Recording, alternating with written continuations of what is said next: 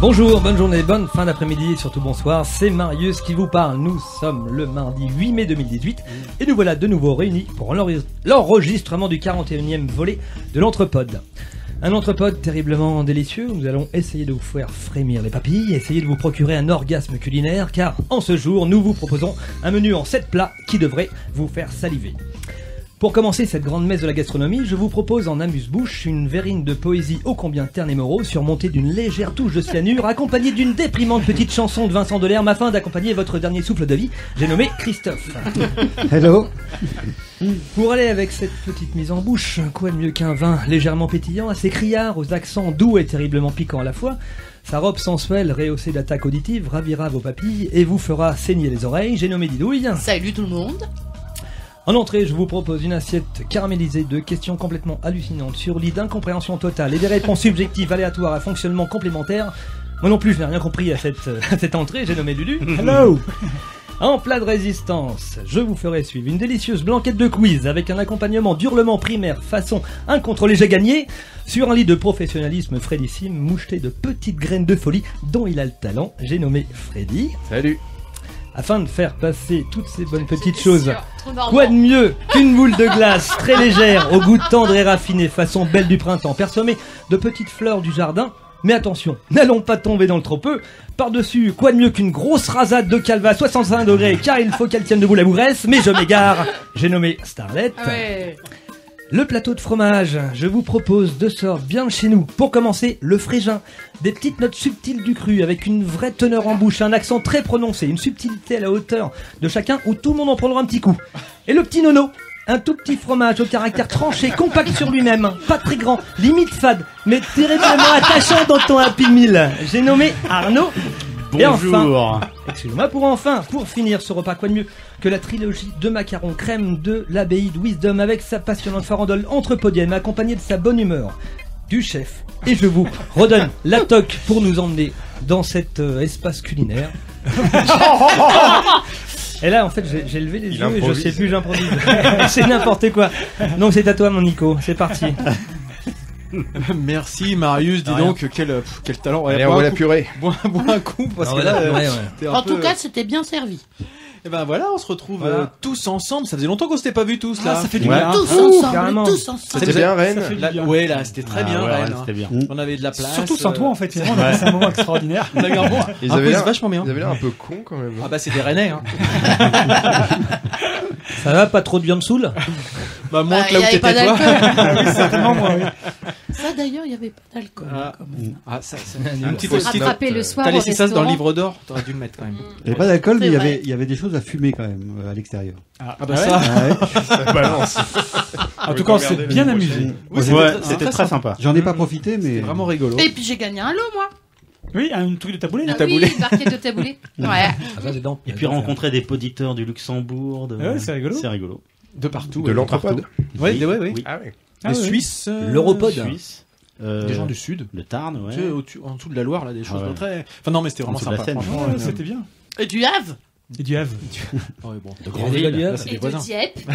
Bon, on va pas euh, faire les 70 personnes qui étaient là, mais. Il y avait des Rouennais, avez-vous Puis on s'est fait un bon resto, les brocanteurs à Rennes. Et ça, c'était sympa. Et ça, voilà. c'était Et ça nous a permis de passer une petite soirée sympa à Rennes, Ah ouais. tous ensemble, là. euh, Vraiment cool. Ouais. Oui. Et donc, bah, ça fait déjà un mois quand même, euh, quand même, Rennes. hein, donc, euh, ah, ça passe vite, hein, comme le temps passe vite. Mais on reste quand même dans, dans des contrées reculées hein, pour cet enregistrement, puisque nous sommes accueillis chez Ludo et Didouille. nous sommes dans la. Bonjour dans tout la- le monde. Ça va, ça va bien. Pardon, désolé, je fais mon Michel Leb. Il est encore à la mode le ici. noir, là Je croyais que tu le roumain, moi. Le roumain noir. Dans une petite bourgade de la vallée de l'Andelle. Magnifique. En tout cas, Oui, c'est très- il fait très beau. Merci de nous accueillir, il fait très très beau. Et euh, bah, en tout cas, on commence déjà à perdre un petit peu le fil de l'émission, donc c'est mal barré. Euh, mais on reprend nos bonnes habitudes. On a un épisode sans invité cette fois-ci, donc ça veut dire qu'on a que des rubriques euh, des membres de l'entrepode. Euh, ensuite, le quiz de Freddy. Oui. C'est bien ça. Freddy Aujourd'hui, un quiz, de euh, quiz. Un quiz très drôle puisque le thème sera euh, bah, la décision des États-Unis concernant le nucléaire iranien. Ah, bah, je me demandais quand allait en parler justement. Pas dans la merde. Je te remercie. Et puis on terminera avec nos coups de cœur ou nos coups de gueule en 60 secondes comme d'habitude.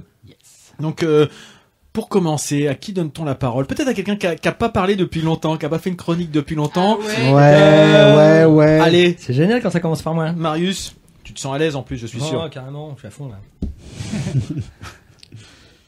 Fais, c'est tout de suite, on n'est plus à Rennes, il n'y a plus un ingé son, c'est vite le. As-tu vu les belles quenouilles? As-tu vu les belles quenouilles? Les belles quenouilles dans le marécage? As-tu vu? As-tu vu? As-tu vu? As-tu vu? Il est vachement bien quand même, c'est moi qui l'a fait. moi j'aime beaucoup. On l'entend pas souvent, mais il nous fait rire à chaque fois. Donc moi je voudrais revenir avec une émission qui est qui est passée en direct. Donc c'est le, le- le nom c'est en direct avec Edouard Baird, une émission qui a été diffusée sur Paris Première le 12 avril dernier. C'est une émission un peu fouillie hein, avec un débat qui est posé. Où va la France? Tout ce qui est à venir n'est-il pas pire que ce qui a déjà eu lieu? Avec euh, autour d'Edouard Baird une triade d'invités François Rollin, Alexandre Astier, Alain Chabat. François Damiens, tout ça en direct dans une brasserie parisienne euh, où tout a été préparé, mais surtout, euh, à mon avis, non préparé. Donc et c'est Ah, là que c'est vraiment, nous, euh, ouais, bah c'est, on- j'y viendrai après là-dessus. C'est vraiment là que c'est Tu intéressant. vas voir car qu'il va nous comparer Edouard Baird. pourrait- non. non mais je me suis vraiment. Non, il va dire que ça ressemble à l'ambiance de l'entreprise. Euh, c'est intéressant pour ça, parce que, en plus, parce qu'on pourrait tomber dans le sketch, le sketch complet, mais en fait, il en a rien. Au début, on a un faux débat qui va attaquer sur le sur, sur le, le thème que je vous ai euh, indiqué tout à l'heure, et en fait, ça part tout de suite sur autre chose. Ça part complètement dans tous les sens, donc on, débute le débat qui est complètement loufoque. Il y a du, du monde qui arrive, il y a des invités qui sont là, qui euh, qui sont des restaurateurs, qui euh, qui vont parler d'un projet mais qui vont être coupés par une autre personne. C'est un foutoir monstre. Alors ça c'est a pas un- nous par contre. c'est euh, À la c'est- Edouard c'est Baird, car- quoi. C'est à la, à la Edouard Voilà. Baird. Moi, je connais pas bien Edouard Baird, donc je l'ai découvert surtout, euh, surtout sur cette émission-là, et j'ai pas décroché. Pour écrire la rubrique que je suis en train de lâcher, que je vais pas lire, donc euh, je l'ai regardé une deuxième fois, j'ai pu le regarder encore une fois, c'était, euh, c'était vraiment pas mal. Donc, vous des, euh, C'est dégueulasse. entre les, les invités lambda donc, qui viennent pour euh, pour proposer euh, pour présenter une association des restaurateurs atypiques qui ne vont jamais au bout de leur intervention une dame qui fait du, du couscous qui va être euh, qui va être arrêtée par Alain Chabat sur la fin de la sur la fin de l'émission parce qu'en fait il va se pointer complètement à la fin euh, ils vont le chercher pendant toute l'émission. C'est un bordel à n'en pas finir on a un vendeur de, de journaux à la criée qui va venir, un mec vraiment un, réel, mais qui va plus vouloir partir en fait. Donc il va se présenter, ensuite il va être là. Ils vont pas pouvoir le faire partir. C'est tout un bordel. Et là tu vois le, le régisseur plateau donc dans le bar qui essaye de faire quoi que ce soit, de le tirer un peu par la manche. Le mec qui est là qui sait pas. C'est un grand bordel. Il y a des lives. Donc on a un live de Yael Naïm qui va se prendre un gros coup de, buzz son, je sais pas comment on peut l'appeler. Elle va faire un saut quasiment de, de 10 cm sur sa chaise. Et ensuite on a le, on a ensuite on a le, on a donc Ours que vous allez découvrir que j'ai découvert dans cette émission là et qui, euh, qui a fait un morceau en direct qui m'a qui m'a beaucoup plu, qui m'a donné envie d'aller voir euh, d'aller voir plus loin. Donc euh, bah, petite transition sur euh, sur Ours hein, qui qui est sur son troisième album. qui là qui nous présente un album avec 12 morceaux qui va vous faire voyager avec des, des, musiques vachement agréables l'album est, complètement l'album est très est très coolos à, écou- à écouter quoi et moi j'aime beaucoup donc ça c'est ce que vous écoutez en arrière et donc pour revenir sur le truc c'est que moi, euh, en voyant l'émission, je me suis vraiment revu au début de l'entrepode où euh, on essayait, où c'était un peu le bordel, mais c'était réellement comme ça. Et en regardant, j'ai vraiment pris un panard complet à regarder. euh, C'était C'était cette le- émission ou... Oui, oui, oui. T'as un problème de micro, Starlet, non? Bah donc, ça- En fait, ça me parle, mais le micro est de l'autre côté, donc forcément, ça passe pas. Ouais, c'était la première, euh, la première je passe un nœud. sur Paris Première. Pour l'instant, je peux pas dire que ça va continuer. Ah, Malheureusement, Ah, c'était un vraiment épisode un seul épisode. Moi, Ah. j'aimerais que ça, que ça continue parce que c'est tu- un gros bordel. Et tu crois vraiment que c'était improvisé? C'est ce que j'allais te Ce demander. genre de Non, je- généralement, est quand même. euh, Il y avait de l'improvisation, mais très crois- travaillé, hein. très sincèrement, il y avait quand même, euh, à mon avis, hein. après, faut, faut la regarder. On peut la retrouver sur YouTube. Moi, je l'ai retrouvée un peu partout. Euh, Regardez-la. Ça s'appelle En direct, t'as dit. en direct avec Edouard Baird. Et c'est sur euh, quelle chaîne Paris Première. Paris Première. Et euh, il y a un téléphone là, 12 qui est pas loin des. Marius, tu as. Donc le téléphone pour ça, c'est le 02. oh, allez, bonne aussi, ça. Oh bah. Bon, J'avais présenté euh, Edouard Baird en coup de cœur il y a Oui. un an à peu près pour euh, ce qu'il fait sur euh, Nova. Ça ressemble Oui. pas mal à ce que tu présentes à la radio. Euh, Bah, peut-être que je me suis fait avoir. et je alors, t'avais- comme je à l'époque, j'avais que- présenté euh, le, le spectacle Ce serait vraiment étonnant, la, Marius. la vie de la vie extraordinaire de Luigi Prisotti, je crois un truc comme ça. Mhm. Je t'ai passé le DVD. Est-ce que tu l'as vu ou pas? Non, il faut que je le regarde. Ça devrait te plaire parce que c'est exactement ouais. ce côté foutraque, pseudo improvisé, mais hyper cadré en fait. C'est ça qui est génial en fait. Ce qui est assez fort, c'est que ça donne l'impression, l'illusion de, de l'improvisation tout en étant, enfin, En tu fait, peux pas partir sur un truc complètement oui, non, mais comme je ça. pense parce qu'il y a un moment où il dit bah tiens, il y avait un conducteur. Et c'est vrai qu'il reprend le conducteur et il balance le conducteur. Et en fait, on part sur des invités, on part sur un, tout, un tas, tout un tas de, choses. Et en fait, il y a, il y a même euh, il y a Laurent Chebila de la revue Schnock qui vient présenter. euh, donc, tu vois, ça m'a fait penser à toi, Freddy. Tu Je suis vois, en je train retiens de lire quand le même. euh, schnock avec euh, Pierre Tchernia qui est formidable. je, je retiens quand même des choses de l'entrepode. On dit tout le temps que je suis pas là, mais si, des fois je suis là. Ça m'arrive. Et, et donc on part sur les invités, on parle dans tous les sens. Mais peut-être que je me suis fait avoir, mais j'ai trouvé que c'était vachement bien fait. Et j'ai trouvé que c'était Ah vraiment plaisant à regarder. Et Dorbert, il a ce côté de façon super. euh, tu- tu- de toute façon, je pense qu'il mélange les deux. À la fois, il, il a, il sait où il va, mais en même temps, il peut partir dans une digression. euh, il a aussi un, sa talent d'improvisation. Oui, ça fait un- quand même Oui, bizarre oui. que tu compares nos premiers numéros de l'Entrepode à une émission des Ouais, Noirs ça, ça serait mieux, récente, ça quand même. mieux de dire ça, ça- si, si ça pouvait évoquer les derniers de l'entrepôt, ça serait plus flatteur. Ce qui veut, ce qui veut dire, c'est que nous, on s'est professionnalisé et eux, ils ont encore du boulot à faire. Bah, c'est un, un truc comme ça. Et- Oui, Freddy Est-il nécessaire de préciser, mais Ours est l'un des, des fils d'Alain Oui. Souchon. Ah oui Euh, Oui, oui, oui, Bah, je savais pas, pardon. Deux fils qui sont, non, bah, qui sont la partie dans la musique et, et Ours est l'un des deux. D'accord. Ours a fait la première partie du concert de Zazie quand elle est venue au Zénith de Rouen et j'ai découvert beaucoup, Ours que j'ai mis sur mon iPod mais euh, ça plaît pas à tout le monde. Mais moi j'ai bien, j'ai bien aimé. Ludo Et- a un regard euh, entendu. Ça me fait penser à Vianney un peu. Non sur Ah le- pas du tout. Ah bon Ah non, Non, pas du là, tout. ça me fait penser à Ce que j'ai entendu là, ça me fait plutôt penser à du M, euh, ce qu'il fait maintenant. Oui, euh, ça fait surtout moi, du monde. Alors que moi, ça me fait surtout penser à de la merde. En fait. non, je déconne, je ne connais pas. Non, je- Je me rappelle des gars qu'on a croisés à Rennes euh, quand ils parlent de, Pas du tout, je plaisante. la version 4 de, de Ours, si Zelda. tu m'entends, Ours, si tu m'entends, et je suis sûr que tu m'entends, c'est uniquement purement gratuit. Je ne connais pas ton œuvre. Et je ne veux pas la découvrir. Tu la connais un petit peu quand même. Et donc oui, Marius, alors tu, Non, rec- euh, je- l'illusion, du- c'est du vrai direct ou c'est l'illusion ah, du direct? C'était du vrai? T'étais non, sûr non, ça C'était euh du vrai direct. Oui, oui, Ce non, qui prouve, que- non du mais vrai ce qui direct. prouve quand même qu'il y a quand même forcément quelque chose d'écrit. parce que du vrai direct. Et même quand tu l'as euh, revu Parce que tu veux dire que c'est un. Ah bon Et du coup, on peut Mais- revoir ça où? Eh ben, euh, je pense qu'on peut le trouver sur YouTube. Je pense qu'on peut le trouver. Toi, tu l'as vu sur quoi, par exemple, Moi, sur je YouTube l'ai vu sur. euh, Vimeo euh, je sais plus, un truc de Télé 7 jours, je crois. Ou non, sur Canal Plus. euh, Canal- non, mais il y a le Télé 7 jours Télé sur. 7 euh, jours. M'emmerdez pas, je sais Télé pas. 7 jours replay, tu connais Voilà, c'est ça. C'est vrai que ça existe ça Non, mais c'était sur Canal Plus. J'ai un écho, moi. Moi aussi, ça, normal. ça Ouais, il y a- écoute. il y a un écho. Allez, allez, petit pilote, montez. C'est peut-être depuis qu'on a posé les assiettes de gâteau, non? Je sais pas. Il y a un. Euh, non, cet effet de, de, de, de, de- de direct était, me semblait vrai, parce que pendant un moment, ils, a- ils, a- ils vont voir Alexandre Astier qui arrive en DS dehors, il pleut des, des, des, des cordes, il pleut vraiment des cordes, et là, t'as- là, t'as le. T'as l'ingé son et le régisseur qui arrive qui fait bon là tu arrêtes parce que sinon on va casquer la, la caméra qui vaut une blinde donc vous rentrez à l'intérieur tu vois c'est un peu vraiment le bras. il y a un gros écho quand même Oh, oh, oh, Alléluia. Non, ça marche. Attends, il va nous oui, refaire le père, euh, je sais plus. Oh, oh, oh. oh hey hey oh hey oh qu'il est beau Marius, c'est bon ou tu as encore des choses à dire ou pas? Pour partir. euh, Non, mais c'était sympa pour repartir. J'ai passé un super moment, même en regardant deux fois l'émission, j'ai passé un super bon moment. Donc, si vous pouvez. Elle dure combien de temps? Et je, euh, deux heures. Ouais. Quasiment deux heures. T'as vraiment ça à foutre quand même. La question essentielle.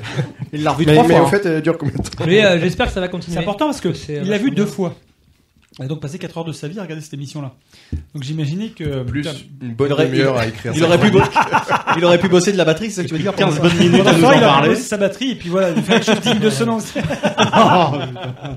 Non, Ludo, il est agressif aujourd'hui. hein. Je sais pas ce qu'il a, euh, Didouille. Après, Hein vous me demandez pourquoi je fais pas de chronique.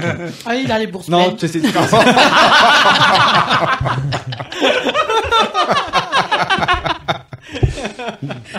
T'es content Eh C'est ben ce oui. que tu voulais.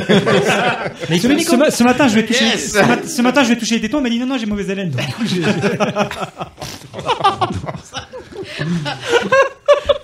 ça restera. Ça restera. En tout cas, oui, mais euh, merci Marius. Hein, c'est, euh, Mais ça fait plaisir. ça donne envie. ça fait plaisir. hein, Désolé de te parler pendant que tu manges en fait. Il est en train de manger le ouais, ça. marbré au chocolat est trop bon. Je sais pas qui c'est. euh, C'est Freddy, ça encore. C'est Ouais, Madame la chèvre. Madame la chèvre. C'est la boulangerie de mon quartier. Ah, Eh bien, ça s'appelle vraiment Madame Ah, la chèvre. Attendez, je vois qu'on a une petite interruption impromptue.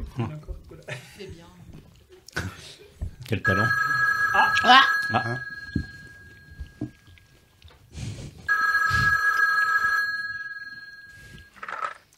Oui, non, moi, euh, celui que j'aime bien, c'est Freddy. euh, en disant il a une plume euh, et puis une voix un peu comme la mienne. Euh, et puis il paraît qu'il a un petit physique. Euh, voilà. Bon, vous lui donnez mes coordonnées, hein Allez, ciao. Voilà, c'est un des premiers messages qu'on reçoit sympa. sur notre répondeur. Freddy, comment tu t'es mis à ton avantage aujourd'hui en plus. N'est-ce pas T'as une très très belle chemise. je veux, bien, je veux les coordonnées. Mais on veut- T'as raison, ça C'est monsieur, c'est Jean Chou. Ah, ah, c'est pas une dame Non, c'est Jean Chou Ah bon Tess. Bah, je C'est prends Jean quand Chou même. Tess qui a laissé un message. Je vais prendre Je te quand même. passerai ses, ses coordonnées. Merci. Bon, on sait jamais hein, s'il y a moyen. euh, En tout cas, bah, faites comme euh, Jean Chou. hein, N'hésitez pas à nous à nous laisser des messages sur euh, sur notre répondeur. C'est avec le nouveau, la nouvelle appli là sur le site? Exactement. Donc, euh, bah, Il y en a eu beaucoup ou pas? Bah, je vais voir. on va voir À part les tiens Parce que c'est quoi la nouvelle appli? Ah, t'as pas écouté Podren t'as il pas lu pas les. Podren, il- toi. il- Il il- pas, hein. Il lit pas les, les emails, il reçoit, il reçoit rien. Il était très promis de.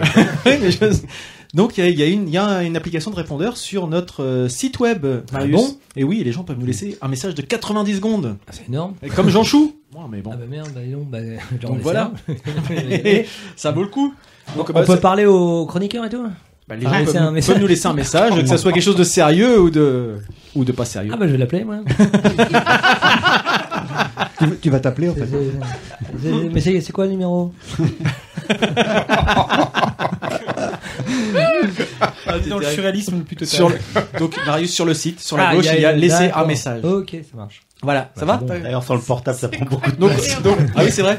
Donc on va voir si Marius arrive à laisser un message, c'est que tout le monde peut le faire. Donc sur la page de l'entrepode. Enfin, le- on peut le faire en live peut-être. Tu veux l'adresse du site euh, internet aussi, non? Non, Eh bien. Entrepote.fr. Je propose à Christophe de prendre la suite. Ouais, je vais, je vais essayer de cautionner, euh, de De- faire la caution sérieuse. Bon, ça veut dire quoi ça? Il y en a d'autres Ah, qui ça veut peuvent dire faire qu'on des va choses encore- ça sérieuses. veut dire qu'on va encore se faire chier. Voilà. Et c'est ça.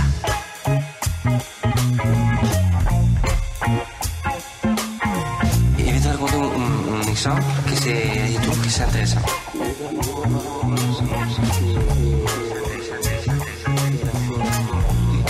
Et c'est ça, que c'est important. Alors, je vais, je vais vous parler d'un livre étonnant. Euh, Ah oui, mais alors si tu, fois, si tu nous film. coupes à chaque fois nos, nos, nos, Nos vannes. euh, Tout ça pour pas qu'on Ouais. puisse te vanner. ouais. Mais sur- Ouais. surtout, à part Freddy et, et Marius qui n'ont pas écouté Mais Podren. bien sûr, j'ai écouté. Euh, Ouais, C'est Garçon sauvage. C'est ça. euh, et donc, Bah, euh, c'était une petite es- escapade. Ah, et donc là, je vais vous parler d'un livre qui n'est qui, qui n'est pas euh, qui n'est pas morose, triste ou dépressif. Euh, c'est juste en fait le deuxième volet de de la trilogie euh, entamée par Pierre Lemaître, Couleur de l'incendie. Donc euh, vous avez sans doute lu ou vu Au revoir là-haut. Ouais, ouais. Ni vu ni lu. Non, Ni vu ni tu lu. nous J'espère qu'il y spoiles a pas de pas, je suis en train de le lire. Lu puis vu. Lu puis Lequel vu. Au revoir là-haut. C'est assez rare. Ah non non, je, je ne parle que de Couleur de l'incendie. D'accord. Donc euh, prix Goncourt 2013, hein, dont, Après la mort des personnages du premier roman, donc en fait, on reprend à partir de là. dont, dont certains, donc j'allais dire, ont probablement vu le film. Non. Euh, ce deuxième volet donc de Pierre Lemaître était très attendu et évidemment dès les premières pages, euh, eh bien euh, c'est tout simplement passionnant de bout en bout. Donc euh, un petit pitch. Euh, alors peut-être Chocolat que- framboise Peut-être pas osé faire. c'est ça que t'es en train de me dire Peut-être. Bon, bah, Peut-être. ok, je raccroche. Mais c'est c'est juste le, le- C'est pas grave, c'est juste raccroche. essayer de faire le raccord entre le Ah, tome oui. 1 et le Bon, tome bah, 2. alors, on te quitte pendant quelques Et C'est le minutes. tome 2, tu Mais- dis le tome 3. C'est le tome 2. Tome 2. tome 2. Suis Marius. Va avec euh, les autres. Parce que moi, le- Ça, ça dure pas longtemps. hein. Euh, donc dès l'ouverture du livre, hein, le ton est posé. Nous sommes en 1927 et on assiste aux obsèques du, du grand banquier euh, Marcel Péricourt, le mania de la finance qu'on retrouve évidemment dans le tome 1. Sa fille Madeleine est évidemment euh, à la tête de l'empire financier. On- donc on suit cette fois-ci donc la sœur d'Édouard et Madeleine donc à la tête de cet empire financier. Euh, mais malheureusement, euh, évidemment, le destin va en décider un petit peu autrement parce qu'il y a un événement tragique qui va placer cette pauvre femme sur le chemin de la ruine. Donc ce roman, c'est donc l'histoire de cette femme qui va tout perdre, ou presque. Presque parce que, en réalité, euh, malgré le fait qu'elle soit embourbée dans un homme, euh, dans un monde d'hommes aux intentions malveillantes, Embourbé dans un homme, c'est. et il y a un petit peu de vrai en même temps. C'est pas. mais j'en dirai pas plus. Euh, donc en fait, elle, est, elle, elle évolue dans un monde de trahison, de cupidité, de corruption, mais aussi euh, de l'ambition de son entourage, et, et donc elle va, elle va résister, elle va faire même plus que résister, puisqu'elle va reconquérir, elle va tout reconquérir et recommencer sa vie quasiment depuis le début. Et pour cela, elle va déployer des perles d'intelligence, d'énergie, mais aussi de machiavélisme pour euh, suivre, pour survivre, pardon, et reconstruire sa vie. Et au-delà en fait de, cette femme, et en tout cas à travers elle, c'est la condition euh, de la femme entre les deux guerres qui nous est dressée, et plus indirectement aussi euh, le, récit d'une émancip- émancipation féminine à cette époque-là. On est dans les années 30. Euh, Couleur de l'incendie, donc c'est donc une affaire de vengeance, mais pas que, puisque nous sommes plongés dans la France d'entre-deux-guerres, dans ce monde du capitalisme naissant, va-t-on dire. Euh, donc parce que ce qu'on comprend à travers les couleurs, le, titre et les couleurs de l'incendie, c'est que en fait finalement ce sont les prémices de l'enlisement de l'Europe dans la Seconde Guerre mondiale. Et donc en toile de fond de ce récit, on a des éléments euh, historiques euh, réels, comme ça commence par la crise de 29, avec le, fiasco de certaines faillites bancaires, boursicotage et autres. Et puis on entre aussi un petit peu dans le nazisme naissant, euh, qui va euh, petit à petit ronger l'Europe avec l'arrivée au pouvoir euh, d'Hitler en 1933, et, et qui va égrener son message antisémite et contaminer petit à petit les esprits à l'aide de- d'une presse complètement complice et corrompue. Donc au cœur de cette instabilité géopolitique et économique se tient donc Madeleine qui va refermer son piège telle une veuve noire sur tous ces traîtres, et en tout cas tous ces gens qui l'ont trahi. Dans ce voyage donc dans le pays de la finance et du complot, le, le plaisir est vraiment permanent car euh, tous les personnages, et on en croise plein de nouveaux, euh, sont délicieusement décortiqués et habilement fouillés. Euh, du traître le plus abject jusqu'à une espèce de, de Castafiore, euh, une, une cantatrice à la voix cristalline qui est C'est pas Marguerite qui est complètement tu nous as déjà qui parlé. est, non, qui est complètement déjandé, mais c'est pas loin. En tout cas, c'est juste riche d'inventivité et de drôlerie. Euh, Donc c'est un sujet qui est oui. dramatique, mais qui est traité sur le ton un petit peu plus léger. Ou... Oui, enfin, c'est- même pas dramatique en fait. Hein. C'est Enfin, l'histoire euh, d'une enfin, ce que tu nous vengeance. ouais, ce que tu nous expliques depuis le début, c'est quand même un contexte un peu compliqué. L'échelle euh, du dramatique chez Christophe, c'est pas la même que chez c'est nous. vrai en fait. Non là, c'est plutôt sympa. Moi, c'est- ce que, ce que je trouve de dramatique, en fait, c'est le, c'est le, la toile de fond. Oui. C'est-à-dire, Bah, le contexte, bah, C'est- et puis la nana qui se euh, fait quand même spolier tous ses biens, qui se fait trahir euh, de partout, qui est. ouais, mais vous, Enfin- en, je peux pas trop, je peux pas trop D'accord. en, dévoiler, mais Non, parce que Euh, moi je vais le lire il y a une raison, il y a une raison pour laquelle elle se fait spolier aussi. Ouais. D'accord. Euh, c'est-à-dire que voilà, elle est, elle, elle est pas forcément, euh, elle, elle vient pas du monde de la finance. Elle, elle s'est laissée porter pendant des années par, euh, par son, par son gentil papa, etc. Ouais. Et donc, euh, et puis l'événement tragique qui la secoue euh, va aussi l'enliser, quoi. D'accord. Est-ce que le personnage euh, qu'interprétait Dupontel est toujours euh, C'est ce que j'allais lui demander. Vois, Là, il va spoiler s'il le dit. Eh ben non, justement. C'est ce que j'allais y venir en fait. Ah, ah. Euh, C'est ce que j'allais y dire. C'est ce que j'allais pas préparé dire. en plus. C'était, c'était, euh, c'était ma fin, mais je peux t'en parler maintenant. C'est-à-dire que c'est un roman qui peut se lire euh, indépendamment du premier. C'est-à-dire que même si on n'a pas lu Il le n'y a premier, pas du tout, on voit pas Albert Maillard dans le, dans le, dans Non. le prochain. le seul lien qui fait, euh, le seul lien entre les deux volets, entre Au revoir là-haut et euh, Couleur de l'incendie, c'est la famille Péricourt. c'est Et donc celle qui reste. dans le, voilà. dans le premier. Mais... Mais dans le premier, elle avait un second rôle, vraiment, elle était Oui. quasiment effacée, quoi. C'était la femme du, du méchant euh, lieutenant Pradel. Ouais. Euh, D'aulnay Pradel. Ouais. On sent quand même que c'est pas un si petit rôle que ça, quand même. Dans le, dans le Alors, on la 1, voit pas Ah oui. beaucoup. hein. Si, si, On non, l'a- non, elle on a la quand même elle est quand même au second plan, quand Elle est au second plan. oui, quand mais même. on sent que dans l'avenir, elle va pas rester au second plan. Ah bah non, puisque Parce que là, dans l'avenir, elle va pas rester au second plan. Parce qu'elle. dans- justement, dans le, dans Il y le a, tome. il y a euh, toujours de l'écho, Nico. Là. Et puis c'est de l'écho qui déforme la voix cette fois-ci. C'est. C'est un écho lourd. tu sais, un écho de gros con. là. Ah j'ai activé l'effet écho de gros con. Merde. Et donc c'est le personnage Christophe. de c'est le personnage Ah de non, Madeleine en fait qui fait le lien entre les deux tomes en fait. Et c'est pour ça que euh, si vous n'avez pas lu le 1, vous pouvez tout à fait euh, démarrer euh, par le tome 2 sans problème quoi. Euh, voilà, enfin je voulais le dire qu'à la fin mais je le dis maintenant, c'est pas grave. En tout cas, c'est moi c'est vraiment un- ça a été un vrai régal Eh cette ben, euh, cette fresque romanesque avec en arrière-plan la complexité des années 30 euh, que j'ignorais, enfin euh, je suis pas spécialiste en histoire mais en tout cas, j'ai appris plein de choses. Et, euh, et je trouve que tout l'art de Pierre Lemaître, je trouve qu'il porte assez bien son nom. Pierre. Ouais. euh, tient, tient à sa façon de, de maintenir le, le rythme. D'une main de maître. Il n'y a pas de temps mort. Bravo Exactement. Je crois que tu peux t'arrêter là-dessus. Marius. Alors là, Marius, Il y a, il n'y a pas de, il n'y a pas de temps mort. Il, aligne des phrases fluides, des rebondissements intelligents. Il, Arnaud, t'as loupé plein de trucs, faut qu'on te raconte. de broder avec, euh, de broder avec euh, vitalité une trame qui est vraiment brillante euh, et l'ensemble est servi par des connaissances historiques assez pointues de, de ce siècle, en tout cas euh, un petit peu égaré entre, entre deux cataclysmes, hein, la, la guerre de 14 et, et la guerre de 40 qui va arriver. Euh, Il y a un troisième volet qui est en cours, euh, puisque c'est une trilogie, qui se situerait. Je me marre tout seul parce que j'attendais une vanne, mais finalement non. personne tu n'a fait. toi-même, on a même on est- on s'est Tu nous coupes le chic. Et euh, donc il se situerait dans les années 40.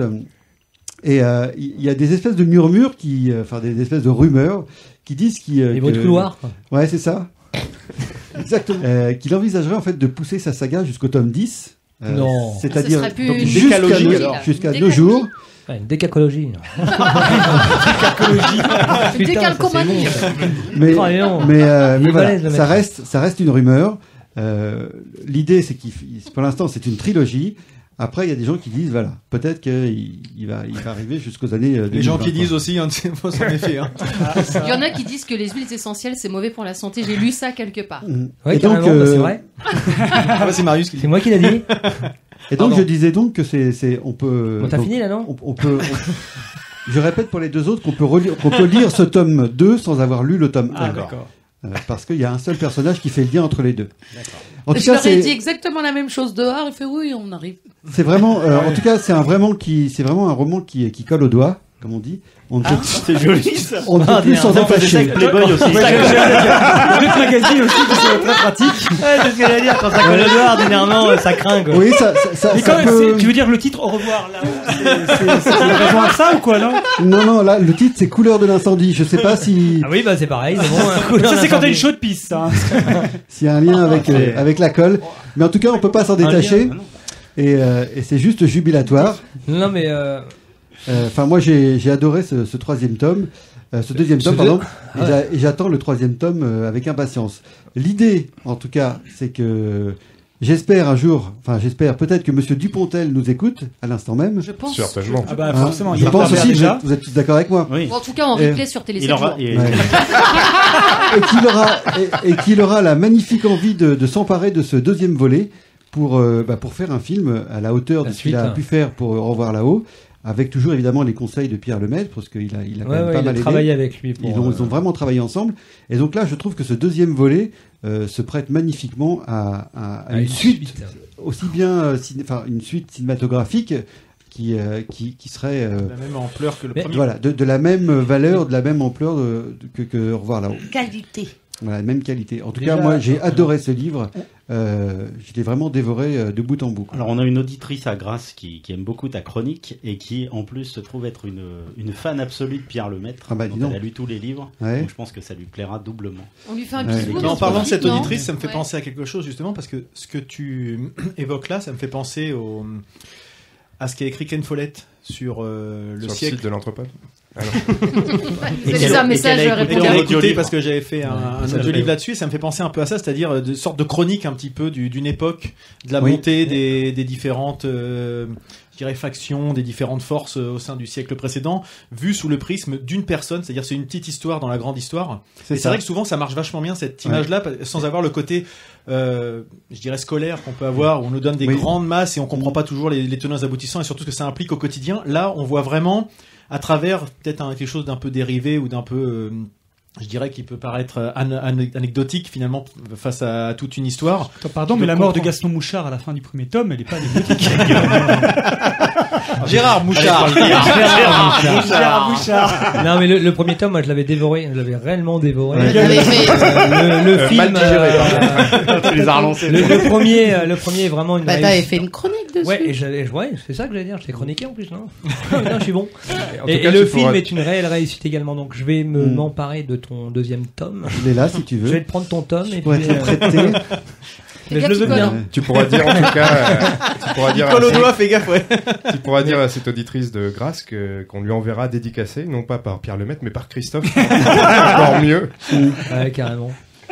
Non, Et mais va vraiment, il y, a- y y des choses très intéressantes. Et moi, j'ai été surpris, par exemple, le- au moment de, de la montée du nazisme, pour revenir là-dessus, parce que c'est quelque chose qui m'a marqué, euh, que, que finalement, la France, à cette époque-là, dans les milieux intellectuels et journalistiques, euh, on a failli basculer quand même. C'est-à-dire qu'il y a plein d'intellectuels, et, et surtout la presse, puisqu'il y a, il y a un espèce de journal qui, qui soutient le, le- le fascisme, euh, qui est en train de se monter. C'est-à-dire qu'il y a- il y a toute une frange de la population euh, qui, qui, qui, est, qui prend fait et cause pour, pour Hitler. Quoi. Donc c'est quand même assez hallucinant quand même.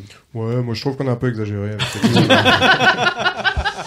Ouais, c'est sûr. Ouais, ouais, non, mais tu as raison. Ouais, Ouais, tu as raison. Puis, euh, puis après, bon, euh, après on, on s'étonne. euh, Non, on s'étonne de rien. en tout cas, si je peux dire un petit mot, je- on, on moque souvent euh, la, la chronique de Christophe, mais, mais j'ai lu avec un grand plaisir Le Maître des Illusions de Donat. Ah, oui, Ah, C'était superbe. Vraiment, merci. Oui, euh, je sais pas pourquoi on dit toujours que mes romans, Euh, sont, je- les romans Ouais, non, sont non, tristes. non. Non, je rigole. Oh, euh, Bah, je comprends pas un pourquoi bout on en dit train. qu'on boit comme Je sais des pas, trous. Voilà, c'est ce que j'allais dire. oh, je rigole aussi. Arnaud est pas petit.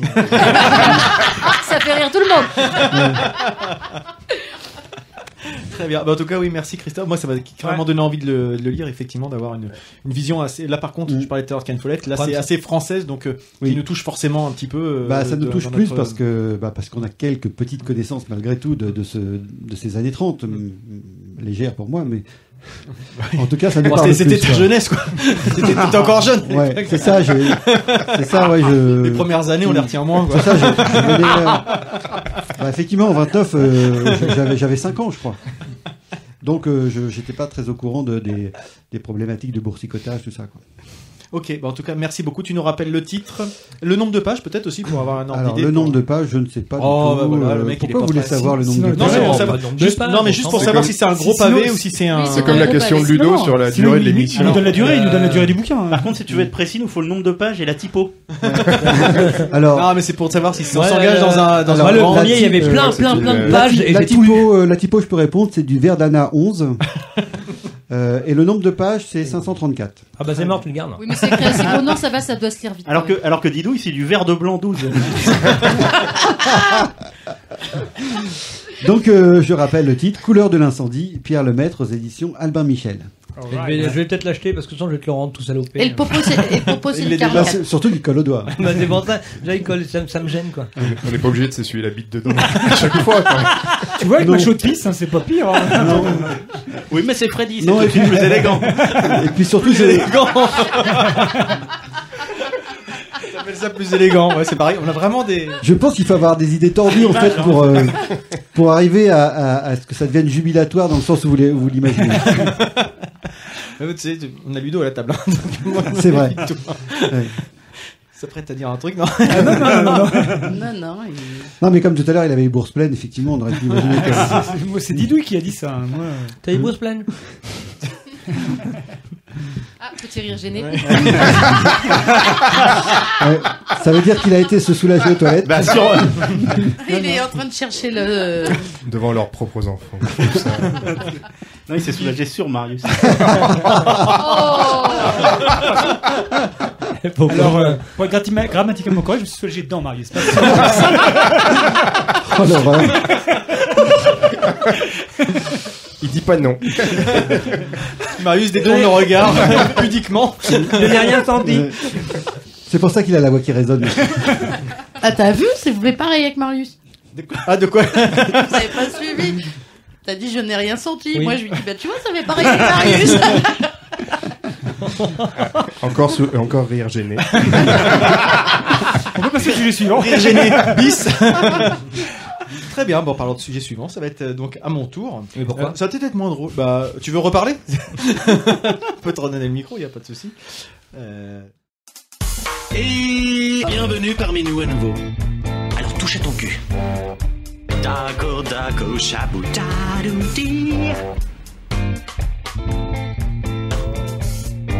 Le tiroir, fond de tiroir, fond de tiroir, fond de tiroir, fond de tiroir. Et donc, euh, moi, je vais vous parler de quelque chose dont je parlais justement assez régulièrement à l'époque sur, sur mon blog Les Fonds de Tiroir, c'est-à-dire d'un manga. Et que j'ai pas dû beaucoup aborder ici euh, sur euh, à notre micro. Et ce manga s'appelle Ajin ou Ajin, je ne sais pas trop, semi-humain. Donc c'est un manga, euh, c'est un, une série qui est, qui, qui est en cours. Euh, c'est un seinen manga. Donc seinen, c'est les, les mangas plutôt pour euh, Adultes. jeunes adultes ou adultes. Euh, qui est euh, qui est écrit par euh, Gamon Sakurai et qui avait été initié également par quelqu'un d'autre et qui a disparu. Là, on à la 12e tome au Japon. C'est une série qui est toujours en cours, qui existe depuis 2012 et qui a un succès assez retentissant avec plusieurs millions d'exemplaires vendus. Donc ça commence à être à être assez important. Oh, le rire Faut, faut expliquer, Nico. Parce que... Ah oui. Christophe a de la concurrence dans le groupe.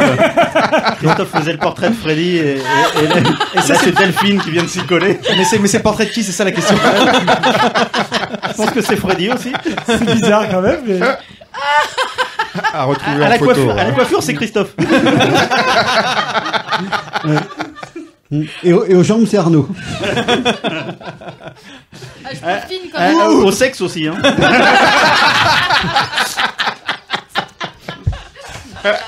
C'est pas très radiophonique. Allez, enchaîne, mon courage. Pardon, pardon. C'est vrai qu'en plus je faisais, je faisais quelque chose de pas sérieux, donc euh, euh, non. Et donc oui, je vous disais, il y a 12 tomes euh, au Japon, 11 tomes en France, c'est-à-dire que la publication française et japonaise se, se suivent Allez, assez, ouais, euh, c'est de façon assez régulière. Donc comme je disais, il y a plusieurs millions d'exemplaires qui sont vendus, donc c'est quand même quelque chose d'assez, euh, d'assez, une, c'est une série à succès. C'est en France sorti depuis 2012. Le dernier tome, le tome 2015, pardon, je dis une bêtise. Le dernier tome, le tome 11, est sorti en avril dernier. C'est quelque chose, j'avais, j'avais une série que j'avais commencé à suivre il y a quelques quelques mois. Euh, c'était mon notre le libraire qu'on cite assez régulièrement ici, Pierre Julien, qui me l'avait conseillé en me disant ça c'est quelque chose qui, qui devrait t'intéresser. J'avais lu les les deux, j'avais pris les deux premiers tomes. C'est quelque chose qui m'avait plutôt plutôt bien aimé, mais j'avais pas su, poursuivi immédiatement. Euh, je trouvais que ça ça accrochait bien, l'histoire était intéressante, c'était sympa, il y avait de bonnes bases, mais ça me renversait pas au point de me dire allez je veux je veux avoir la suite euh, tout de suite, etc. etc.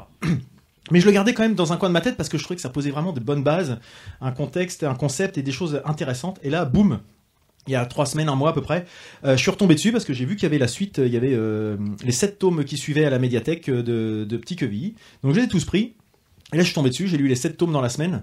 Euh, impossible de, de lâcher le truc, en fait. Je les ai complètement dévorés, et j'étais même très très frustré parce que la, la médiathèque n'avait que jusqu'au tome 9, et il y en avait 11. Donc euh, dès que j'ai pu, je suis retourné euh, à la librairie pour acheter les autres parce que je, je ne pouvais plus, euh, je ne pouvais plus euh, tenir, je voulais avoir la suite. Et Starlet. pour l'instant, je sais pas combien il y a de tomes. dans l'autre sens, c'est un manga. Je, sais- je ne sais pas combien il y a de, il y a de tomes de prévus. mais, euh, mais, mais c'est assez frustrant parce que du coup, je suis arrivé à la fin du, du tome 11 et euh, bah, le tome 12, je sais pas quand il sort. Euh, la suite, je ne sais pas quand ça va aller, mais c'est vraiment quelque chose de très très très haletant et assez impressionnant. Alors l'histoire, de quoi ça parle? Parce que là, je vous parle un Oui, petit peu du, du contexte. Ah oui, Donc, donc, tu, tu, tu es en haleine là. Donc le contexte, dans, Balance dans- la dans purée, le premier bordel. tome, on suit euh, Kei Nagai, un jeune étudiant euh, complètement asocial, qui a d'empathie pour aucun de ses semblables, euh, qui se fait écraser par un camion et meurt sur le coup. Donc déjà ça commence de façon assez, euh, Violente. de façon assez dramatique et violente. Euh, sauf que quelques minutes plus tard, sous les yeux incrédules de tous les témoins, il ressuscite mystérieusement et du coup sa vie bascule, forcément. Parce que Kei Nagai, c'est un Ajin. C'est des hommes et des femmes immortels qui s'ignorent jusqu'au jour où ils meurent. Et ils découvrent leur immortalité à ce moment-là, en fait. Et donc depuis leur, leur apparition, euh, depuis leur apparition, forcément, ça crée un peu un trouble dans la population. Ils sont euh, recensés, étudiés par les différents gouvernements mondiaux, et souvent finissent aussi comme des cobayes et subissent des atrocités afin de- d'exploiter euh, leur immortalité, etc., pour, pour des fins, je dirais, pharmaceutiques, médicales, etc. Oui, Et dis-donc. Leur leur immure leur im- leur im- leur immortalité. Est-ce que ça euh, fait changer les caractères Pas du tout. Ils restent alors, Pas du tout. Ils renaissent, Ils enfin, ils, re- ils revivent, mais, euh, Non, mais sans avoir changé de caractère Ils- ou de tempérament. Voilà, la seule ou, euh, différence, c'est qu'ils ont une nouvelle chance à chaque fois qu'ils meurent, ils repartent. Euh, à comme à l'instant ils sont, Ah sont non, morts. Non, comme à l'instant ils sont morts. Ouais, mais du coup, le gouvernement, il pourrait s'en servir pour justement aller tuer des gens. C'est pas le débat, c'est pas le débat, c'est pas le débat. Je vais, voir, je vais y venir justement. Ils sont utilisés justement à plein de, à plein de, de Ah. fins différentes. Ah. Donc du coup, Kay, qui, qui se retrouve euh, identifié comme un Ajin, essaye de cacher sa, sa véritable nature à tous les autres, mais d'autres Ajin le- l'ont identifié, l'ont vu, parce que forcément ça fait tout de suite un peu tache d'huile autour de lui, et essaye de le, lui demande de les rejoindre pour, regroupe, pour retrouver un- une organisation, en fait. Ils essayent de se constituer une petite euh, assemblée, association, etc.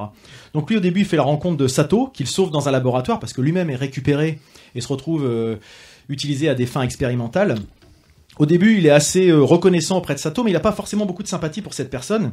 Et rapidement, on se rend compte que Sato, mais aussi Tanaka, qui est son, son compère, sont des terroristes qui souhaitent faire payer les humains pour toutes les atrocités qu'ils font subir à leurs semblables. Donc euh, ils n'ont aucune retenue ni compassion, il n'y a aucune limite dans, leur, euh, dans leurs actes, dans leurs faits, etc. Et ils vont s'entourer d'autres Edjin, ou Adjin, je ne sais pas trop comment le présenter, pour organiser des vagues terroristes. parce que c'est pénible, là. Alors, il n'y aurait pas d'idouille à table, je dirais que ça se dit agent, mais. A-G-I-N. voilà, exactement. Et donc, ce qui fait que les, les activités de ce petit groupe terroriste va monter toute la population des humains euh, contre ces, ces agines et va les, y compris les pacifistes qui vont se retrouver comme des, des dangers potentiels, vus comme des dangers potentiels, et donc vont devoir se cacher pour euh, devoir euh, continuer de, de survivre plus ou moins tranquillement, quoi. Ce qu'il faut savoir aussi, et ce qu'on voit sur toutes les, les- les couvertures, vous pouvez voir, les, les Ajin sont capables de faire apparaître et contrôler des IBM, donc euh, des, des entités noires fantomatiques. Ouais, voilà. J'allais dire là. Alors je sais plus ce que ça veut dire, ça veut dire invisible euh, body euh, matière ou je sais plus trop quelque chose comme ça. Euh, c'est ceux qu'on voit sur toutes les sur toutes les couvertures en fait. Euh, ils sont composés de, de fines particules et les communs des mortels ne les voient pas en fait. Donc il y a une espèce d'aspect fantomatique en plus qui sont un peu leur euh, leur, leur une excroissance. C'est euh, Ludo de- qui a posé de ces Ah, de l'excroissance Oh bah écoute C'est Et gentil tu- et C'est d'autant plus intéressant que tu me disais tout à l'heure, Nico, que c'est tiré d'une histoire vraie. À tous les coups, Exactement. ça marche. Exactement. J'ai dû la faire 32 fois en Ah oui, 40 j'ai- épisodes. Mais quand c'est bien dit. Donc clairement, Il a eu le temps de s'arrêter, je crois. pour être pour être complètement euh, pour être pour remettre un peu le contexte donc c'est quelque chose c'est un, c'est un thriller fantastique très très sombre c'est euh, c'est souvent une partie d'échec justement entre les edging les edging entre eux et les humains et même entre les humains puisque chacun a sa propre vision de la façon de les, traiter ça traite pas mal du sens et de la valeur de la vie puisque certains edging se retrouvent avec euh, l'immortalité comme un fardeau à vivre euh, puisqu'ils n'ont pas de liberté maintenant qu'ils sont identifiés comme tels. Comment réagir face à un terroriste qui est immortel? C'est-à-dire qu'on se rend vite compte que le, terroriste qui est mal pris, il se tire une balle dans la tête, hop, et il ressuscite immédiatement euh, à 100% de ses capacités, etc. Alors que lui peut faire des dégâts très importants dans la, population. Ça fait forcément écho à l'actualité qu'on peut connaître de temps en temps malheureusement et la manière de traiter des terroristes qui n'ont aucune limite face à des gens qui eux restent dans un, cadre euh, réglementaire, législatif et, euh, et éthique. Euh, et comme euh, il y, a, y, a, hum, y a une phrase qui est dans le dernier tome d'ailleurs où quelqu'un dit au, au héros perso- au principal personnage ne gâche pas ta vie sous prétexte que tu es immortel. C'est-à-dire qu'en fait il y a quand même toujours un sens à nos actions et qu'il faut que voilà euh, il y a il Qui a faut un, pas un but, un mais but qui toujours. soit. euh, Et surtout, euh, n'oublie pas que y a, tes, impacts ont, un, ont une vie, ont- enfin tes actions ont un impact sur euh, au-delà de ta propre vie. Voilà. Ils quand ils même l'ont prévu, gore, hein. ils l'ont prévu au bac philo cette année. hein. Je sais pas si ça ira jusque là. C'est hyper gore. Ah oui, c'est très gore. hein. C'est J'allais y venir justement. Méga gore. quoi. Alors je pense que ça devrait plaire certainement à Ludo. D'ailleurs, je vais faire Le petit. dessin est très très joli. Ouais. C'est tramé. Oui, ça me branche bien en fait. Et hum, donc il y a aussi des questions éthiques justement parce que je l'évoquais déjà dans The Leftovers la dernière fois, c'est-à-dire que en traitant finalement le fantastique, les immortels, etc., ça parle avant tout de l'humanité finalement, parce qu'on voit surtout la réaction des humains vis-à-vis de, de- des gens différents, vis-à-vis de, de ce qui leur fait peur, etc. Donc euh, l'humanité qui a envie de tout maîtriser, qui tient pas forcément compte de ce que ces, ces implications et conséquences peuvent avoir sur la vie d'au- d'autrui. Et donc, ils sont souvent, comme je disais, utilisés comme des, des cobayes de labo, torturés pour les besoins de la science. C'est-à-dire qu'on se pose pas de questions sur euh, est-ce qu'ils souffrent, etc. On considère que comme ils revivent éternellement, bon, on peut, on peut leur couper la tête, on peut leur couper les bras, on voir comment ça. Comment ça se passe Ça repousse? C'est-à-dire qu'ils se régénèrent. C'est une espèce de remise à niveau et hop, les bras repoussent, etc., etc. Et ils repartent hop à zéro. C'est-à-dire qu'il y en a certains qui sont tués euh, plusieurs fois dans la journée, etc., etc. Et c'est pour ça que certains qui sortent de Ça ces labos être lourd, quand ont même, envie hein. de se, ont Ouais. envie de se, se venger. Voilà. Non, mais si- s'ils sont broyés, Eh Ils ben, ont je, plus vais, rien je vais pas tout dévoiler, mais il y a, il y a quel- visiblement il y a quelques possibilités de les faire brûlés disparaître complètement. Mais euh, et du coup, c'est vrai qu'on a cette approche où euh, il y a des il y a des paradoxes, c'est-à-dire que hum, les humains, par contre, euh, n'ont pas le droit d'utiliser des armes face à face à d'autres humains. C'est-à-dire que Bah oui, ça- les, seules- les bah seules choses, euh, ils sont en train de se faire euh, complètement exploser les uns les autres, mais ils n'ont pas le droit d'utiliser des armes parce que la loi euh, leur empêche de faire ça. C'est-à-dire qu'on a plein de paradoxes comme ça dans, dans, dans notre façon humaine, et le seul, uti- la seule arme qu'ils peuvent utiliser de temps en temps, c'est le tranquillisant, puisque bah, ils l'endorment sans le tuer, parce que s'ils le tuent, finalement, ils rallument. Donc c'est c'est le paradoxe en fait. Donc ça traite beaucoup des préjugés, de la peur des êtres différents, qui fascinent autant qu'ils terrifient en fait la population. Donc sur la forme, alors ça, comme l'a dit euh, Marius, c'est hyper violent, c'est très très noir, hein, clairement, ça faut, quand même reconnaître. Alors c'est mortel dans tous les sens du terme, hein, c'est-à-dire que c'est une vraie tuerie au sens propre comme au sens figuré, c'est quelque chose qui vraiment pour public averti, hein, parce qu'il y a des, des démantèlements d'êtres humains dans tous les sens comme on veut bien.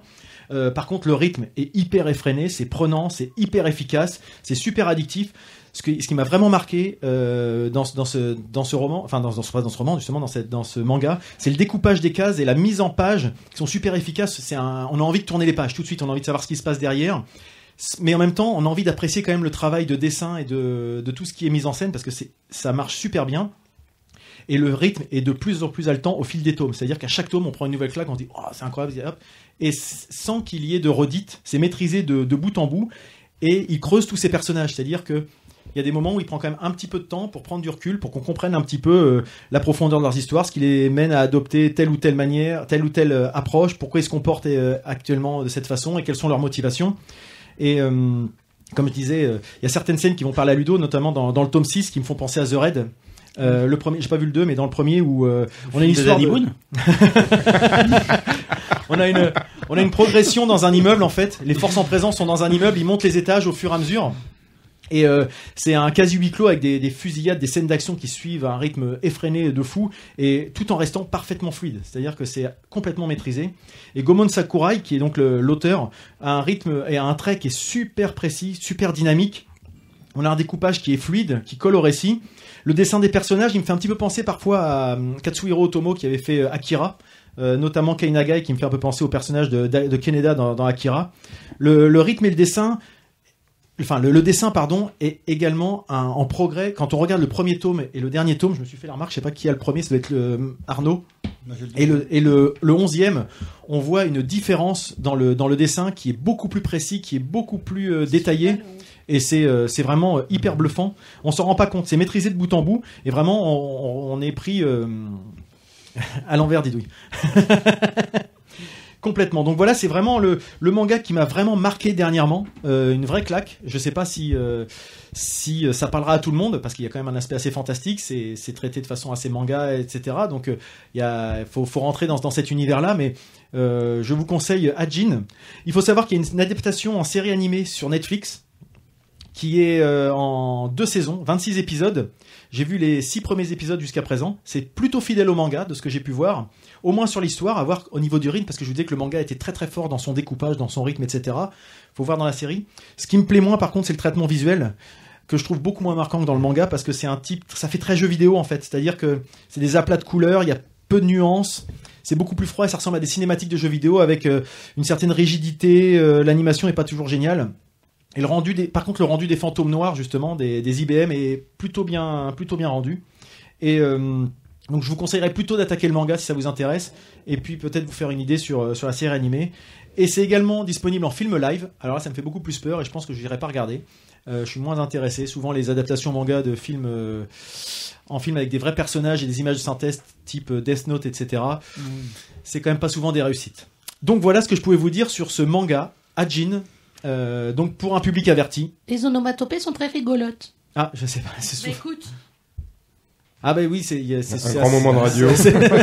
Fouoche. fouoche Fouoche En plus, C'est le bruit des balles Fouoche, fouoche Voilà ce que je pouvais vous dire sur Ajin, semi-humain de Gomon, Gomon, je me rappelle Sakurai. Sakurai. Ça Eh bien, merci Nico. Puisque tu le dis à chacun, tu peux te le dire à toi. Je me remercie et je m'en félicite. Non, ça donne envie. Oui, C'est vrai effectivement, ouais, moi ça me. ouais. Donc, J'ai ramené les deux premiers tomes, euh, je- si ça intéresse du monde ici. Moi, je de- suis puceau du manga. J'ai jamais lu un C'est manga. vrai Ouais. Jamais du tout Non. Euh, Moi, Moi je aussi, demandais, je suis- je suis euh, plus je celle demandais du à Lulu manga. justement comment ça se lisait. C'est vrai que c'est à l'envers, mais même les Tu commences par tu la dernière page et tu lis de droite à gauche. Bah, c'est ça, Et tu Regarde. redescends, euh, tu- ah, tu- c'est- c'est un- tu fais la c'est un- couverture, C'est finalement. une, euh, c'est c'est pas évident quand tu as toujours lu en Après, c'est pas ouais, manga. c'est quelque chose d'automatique. Ouais, c'est pour courir. C'est automatique et c'est vrai que le, Dash. le- le dessin est très très expressif. Voilà. Ouais, ça, donne, ça donne bien envie. Ça te donne envie, ouais Bon, bah, écoutez, n'hésitez pas à prendre les deux premiers tomes euh, à Et ceux. là, pour le coup, Entre le euh, bouquin de Christophe et puis euh, les, je peux les mangas, tout ça, c'est. Non, bien- prends le deuxième. bien- prends Ouais. le deuxième, je vais prendre le premier. On ouais. vos chroniques elles, semblent plus construites que les miennes en fait. Je sais pas comment vous faites. Non, mais de toute façon, j'ai des trucs à lire. Bah, été mais ça très bien ta chronique. c'est plus foutoir. Je sais pas comment. Mais, vous en fait. J'aurais toujours voulu être vous. Moi, je vais prendre le, 11e direct. Ok, si tu veux. Tu vas- il va te manquer peut-être deux, trois petites infos, mais Ouais, je- parce que comme c'est un manga que tu lis à l'envers, tu peux pas aussi lire du 11e au premier. C'est pas con, ça. Euh, Ah, qu'est-ce à dire? Oh, bah, tiens. Bonjour, je m'appelle Jean-Michel. J'aime beaucoup vos émissions, surtout la Madeleine de Prout de Monsieur Lulu. Vraiment, c'est fantastique. Par contre, euh, je n'aime pas trop JR. Euh, je le trouve très très méchant. Euh, bonne journée, bonne continuation à vous. Euh, salut de Toulouse. Donc on peut se faire des autos. euh, Donc on nous écoute. à- Pourquoi tu dis ça pourquoi tu dis truc Oh, ben là, on a reconnu quand même. hein. Bah non, il s'appelle On a comment reconnu Jean-Michel. Jean-Michel de Toulouse, on le connaît. C'est Jean-Michel. Putain, je vais. euh, Fidèle auditeur, hein, Ouais. de Toulouse. Et ben justement, puisque puisque Monsieur Jean-Michel Ah. aime beaucoup la Madeleine de Proust, de Prout, pardon, nous allons peut-être passer directement à cette rubrique. Qu'en penses-tu? Eh ben, allons-y. Passons au prout. Es-tu prêt? Ah oui, je suis prêt. Maintenant, la Madeleine de Prout.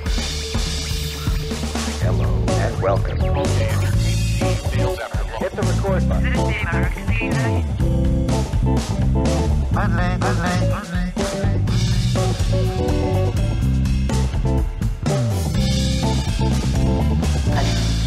Il t'a, plu le film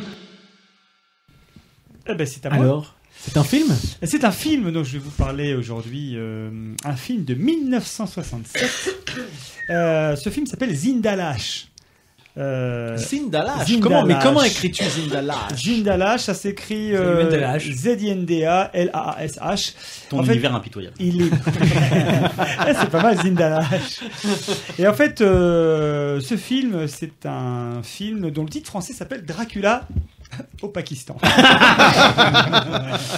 Euh, Dracula au Pakistan, donc en fait, c'est un film qui est- a été réalisé en ourdou. hein, dans les années 60, euh, un film pakistanais. Donc, euh, ben, je vais vous parler de ce film-là et pourquoi je vous parle de ce film-là. On se le demande. Ah, on se le demande. Eh ben, je vais vous expliquer un petit peu. Alors, euh, grosso modo, très rapidement, l'histoire, c'est euh, très librement adapté du roman de Bram Stoker, pour ceux qui connaissent l'auteur de Dracula. On me regarde pas. hein. Et donc, euh, voilà, donc dans les années 60, ça se passe dans les années 60, en fait, un certain docteur Tabani euh, pense avoir découvert le sérum de la vie éternelle. Et Vlati Pepper, après avoir joué avec ses éprouvettes, se boit une petite coupette, et, et voilà, et arrive ce qui arrive. Il se transforme en vampire. Et à partir de, Ah, de- à partir de là, l'histoire, grosso modo, suit plus ou moins le, la trame du roman euh, de, de Bram Stoker, mais de manière assez, assez lâche, on va dire. Alors, euh, ce film, alors pourquoi je parle de ce film-là parmi un tas d'autres films On se le demande. Eh bien voilà, parce que ce film a euh, longtemps été considéré comme perdu. Et en fait, il a été retrouvé euh, quasi, quasiment dans des poubelles hein, de, de, de, de la boîte de prod. Peut-être une raison. Et, je vais venir. Alors oui, ce film est une véritable, on va dire, perle rare, n'est-ce pas de, la production euh, de ce qu'on appelle la production du cinéma Lollywood. Alors je dis pas Bollywood, mais Lollywood. En fait, pour les fans du genre, c'est c'est donc c'est c'est un film de référence. Alors Lollywood, qu'est-ce à dire? Ben, Lollywood, en fait, c'est la contraction entre Lahore et Hollywood. Lahore, qui est donc une, une des la capitale du Pakistan. Capitale du Pakistan, tu peux le dire. Capitale du Pakistan. Ce que j'aime bien dans cette émission, c'est qu'on Ou, apprend si des vous préférez, la capitale du Capistan. Ça dépend comment vous voulez. Ouais, bref. Et pas du Boukistan. Et pas du Boukistan. Alors en fait, Elle- voilà. elle le cherche, Et hein. donc, ce, ce- ce, ce, ce, ce- Allez, bourse, vous pas rester plein longtemps. hein. ce terme désigne en gros la. la... Troisième, troisième rire Eh, gêné. Non, pas rire gêné, là, il est content. C'est- un rire euh, envieux là. Impatient même. Alors en fait, Ça, pour c'est le faire... rire quand il éjacule précocement.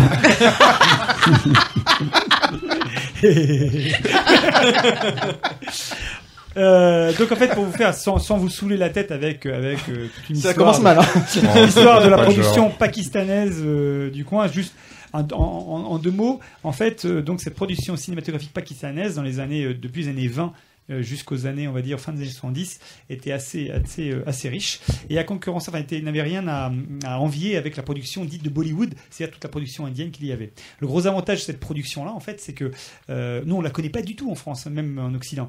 Et euh, en réalité, ces films-là étaient tournés en ourdou, qui est donc la langue euh, officielle du Pakistan, et donc qui drainait évidemment pas mal de, pas mal de monde. Et euh, la, la, production l'Hollywood en fait a commencé à décliner à la fin des années 70, puisqu'en fait avec le coup d'État et, euh, euh, je dirais la mise en place effectivement d'une censure assez forte, bah, tout ce qui est la censure religieuse, etc. La, production s'est mise à chuter jusqu'à ces années-là maintenant en 2000 où franchement le cinéma, on va dire de l'Hollywood est pas en super bonne santé, même s'il y a des choses qui, qui redémarrent un petit peu, il y a encore des choses. Mais voilà, c'est pour vous faire un petit très très rapidement. Et la comparaison avec Bollywood, c'est que Bollywood évidemment est très très euh, est très connu pour ses films très fastueux, très très voilà, comédie musicale. très, Coloré. très coloré, très comédie musicale. Alors l'Hollywood, euh, euh, ce- cette production-là a une petite, euh, je dirais, a plus a son identité aussi. C'est-à-dire qu'en fait, eux, euh, on dit souvent oui, c'est un peu la version cheap de, de Bollywood, ce qui n'est pas toujours le cas.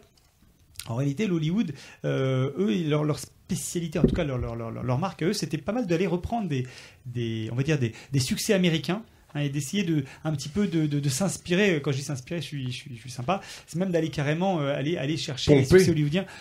Pas forcément pomper, mais tu- si tu veux choper Le vraiment chauffe les- pas, le chauffe pas. Eratom, la capitale du Pakistan, c'est Islamabad. Islamabad. Mais enfin, Lahore était en fait le centre de production principal de. C'est la capitale cinématographique. Voilà, exactement, exactement. Ah ouais, tout le monde sait ça. Mais- pas qu'on ne se tu- renseigne tu, as, pas. tu as tout à fait raison de- pour cette précision, je te remercie. C'est beau. Et donc, euh, qu'est-ce que je voulais dire? Oui. Et donc, en fait, euh, le, le, le- je disais quoi moi en fait avant qu'elle m'interrompe? Mais lis au lieu de. non, non, c'est- c'est- En fait, ce que je voulais dire, c'est que euh, ce cinéma-là, voilà, en fait, s'inspirait beaucoup du cinéma hollywoodien. Hmm.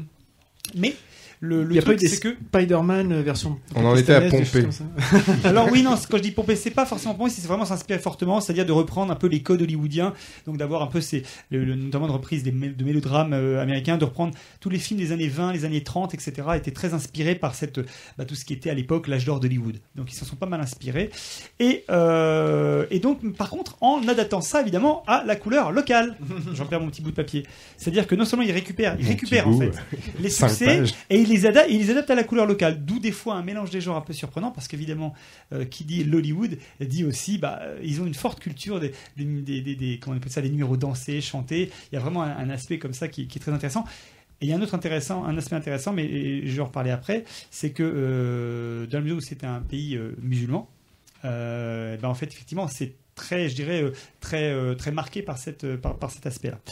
Et euh, du coup, on s'arrive avec un mélange des genres qui est assez surprenant. Et ce Dracula-là en, en question. On le voit, on le voit danser alors? Alors, pas Dracula. Pas Dracula. Mais, mais, mais, mais, tu- je, je- je vais y venir. Et en fait, on se retrouve avec un mélange des genres. Oh, ne spoil pas. Franchement, bah, je, vais, je, vais, quand- je vais quand même vous dire deux, trois petites choses. Vous allez voir, c'est assez, c'est assez marrant. On, a, on arrive à un mélange des genres. Franchement, pour quelqu'un pour quelqu'un qui n'est pas un mélange des averti- genres. pour quelqu'un qui n'est pas- pour quelqu'un qui n'est pas averti, ça peut surprendre. Euh, alors, euh, en gros, si vous voulez, le film attaque avec une séance pré-générique, donc euh, façon vraiment années 30, universelle, euh, avec le type qui va boire sa petite boisson, là, tchoup, il boit son truc et il va se transformer en vampire. Et là, le film le noir et blanc est vraiment très très beau. C'est un très beau film noir et blanc. La musique est très euh, très comment dirais-je très alors c'est Dramatique, non dramatique façon années 30 D'accord. donc avec euh, les cordes Ouais. ça pète et tout c'est vraiment c'est vraiment euh, très prenant une image une, un éclairage très expressionniste c'est-à-dire un noir et blanc très contrasté très marqué avec des, des poses comme ça des, des, des poses très théâtrales très typiques du cinéma muet des années 20 Mm. vous savez cette espèce de, de côté un peu Fritz Lang un peu comme ça très universal les films de monstres des années Ah oui, des- voilà, voilà. je pensais euh, Voilà. le Dracula finalement de Exactement. de Universal en fait. Et avec, avec voilà, donc le, le, le- le type va, va, une fois vampire, va transformer son assistante en, en vampire. Et on est vraiment dans cette, dans cette espèce de, de, de, de côté là, euh, très très marqué Hollywood. Puis arrive le générique. Et là, c'est le drame. Et après le générique, on se retrouve qu'il y a une bagnole qui roule, qui roule sur une route et qui va rejoindre ce manoir où habite le vampire sur la musique de la cucaracha. et, et je peux vous assurer que quand on n'est pas prévenu, ça fait tout drôle. Le contraste est Surtout saisissant. que ce morceau de la cucaracha est interprété un petit peu façon À pakistanaise. Et c'est assez génial. C'est-à-dire que là, tu as vraiment quelque chose de surprenant. C'est-à-dire que le film va en permanence alterner entre des séquences effectivement très gothiques, très très film d'horreur, ou en tout cas film d'épouvante euh, euh, classique, façon, euh, d'ailleurs le, le, le, le- façon, comme je disais, Universal, façon même la Hammer pour ceux qui Mm. connaissent un petit peu. Euh, d'ailleurs, le, ce- le, le, le, le- le- le personnage qui joue Dracula, euh, clairement, hein, il est inspiré directement de, de Christopher Lee. Lee, oui. Ah, c'est clair et Mhm. net. D'ailleurs, ça c'est marrant parce que comment, le type commence comme un professeur au départ, et puis quand il accueille le- son invité, euh, Harker, euh, il est avec une cape noire façon, façon Dracula, façon, façon 19e siècle, en fait, ce qui est assez, assez, assez drôle, quoi. Enfin bref. euh, Oui, c'est très drôle. Oui, quand tu vois le film, c'est très très drôle, surtout que le film enchaîne ensuite, euh, une fois que cet invité arrive chez, donc, euh, on va dire euh, Dracula entre guillemets, parce qu'il s'appelle pas Dracula dans le film, euh, la, la- la- son, son assistante qui est, euh, qui est, euh, qui est elle aussi transformée en vampire, va lui faire une danse de séduction. Pour, euh, pour, pour- bah, je dirais pour, pour, le, pour le vampiriser derrière et là on a droit à une séquence de une danse de séduction sur de la musique euh, Façon Bollywood, là. façon un peu Bollywood Mmh. et c'est assez formidable et d'un seul coup tu passes à un plan qui est même un plan euh, je dirais très marquant de, de, de, de, de- genre purement purement euh, avec gros plan sur les yeux un, un noir et blanc très fort euh, purement années 30 euh, façon Dracula Ted Browning vraiment euh, magnifique et puis bah, derrière après tu enchaînes directement dans les années 60 La sur- cucaracha. alors, pas la cucaracha, mais sur du twist La carioca. Où là, tu as, où là, tu as toute une, assemblée dans un bar qui se met à danser avec des mauvais garçons qui sont là et qui chantent et, et surtout Là, on est dans West Side Story, voilà. Alors, honnêtement, c'est- super drôle parce qu'en fait, euh, euh, il s'agit pas de- en plus de se moquer, c'est juste que c'est là que tu vois vraiment le, le, le- le- Tu ne sais pas, en fait, le film est constamment. Alors, tu sais pas si le film a le cul entre deux chaises ou pas, même si j'ai quelques, quelques éléments de réponse, mais euh, on y reviendra après. Mais le film est constamment sur cette, sur cette on va dire, sur cette. euh, Entre deux, ouais. hein. entre deux en fait. Et donc, euh, qu'est-ce que je voulais dire Euh, le, le, le, le- je retrouve mes petites euh, voilà. Il y, a, y a notamment, il y a notamment en fait des scènes très drôles. Donc les numéros chantés vont donc se poursuivre.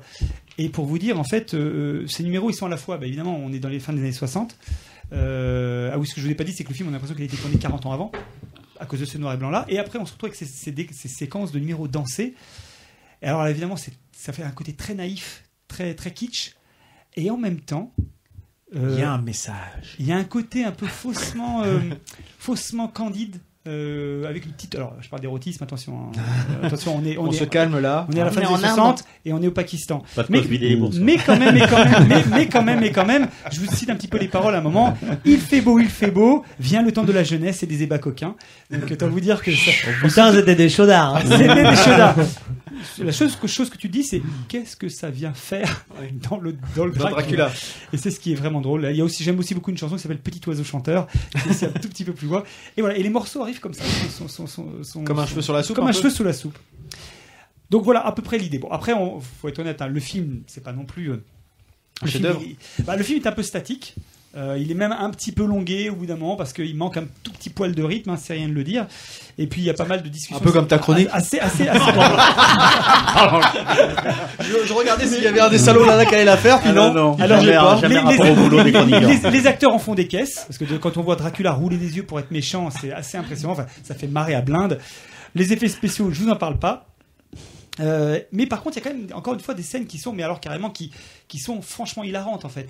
On a notamment une scène qui se passe dans un bar où en fait les gars évidemment euh, le, le- le- le- le- les personnages principaux essaient de retrouver en fait euh, euh, un type qui a disparu, un de leurs amis disparu, et euh, ils se disent ah mais oui mais attends près de ce château là il y a un bar, on va aller voir le propriétaire du bar qui doit certainement en savoir un petit peu là-dessus.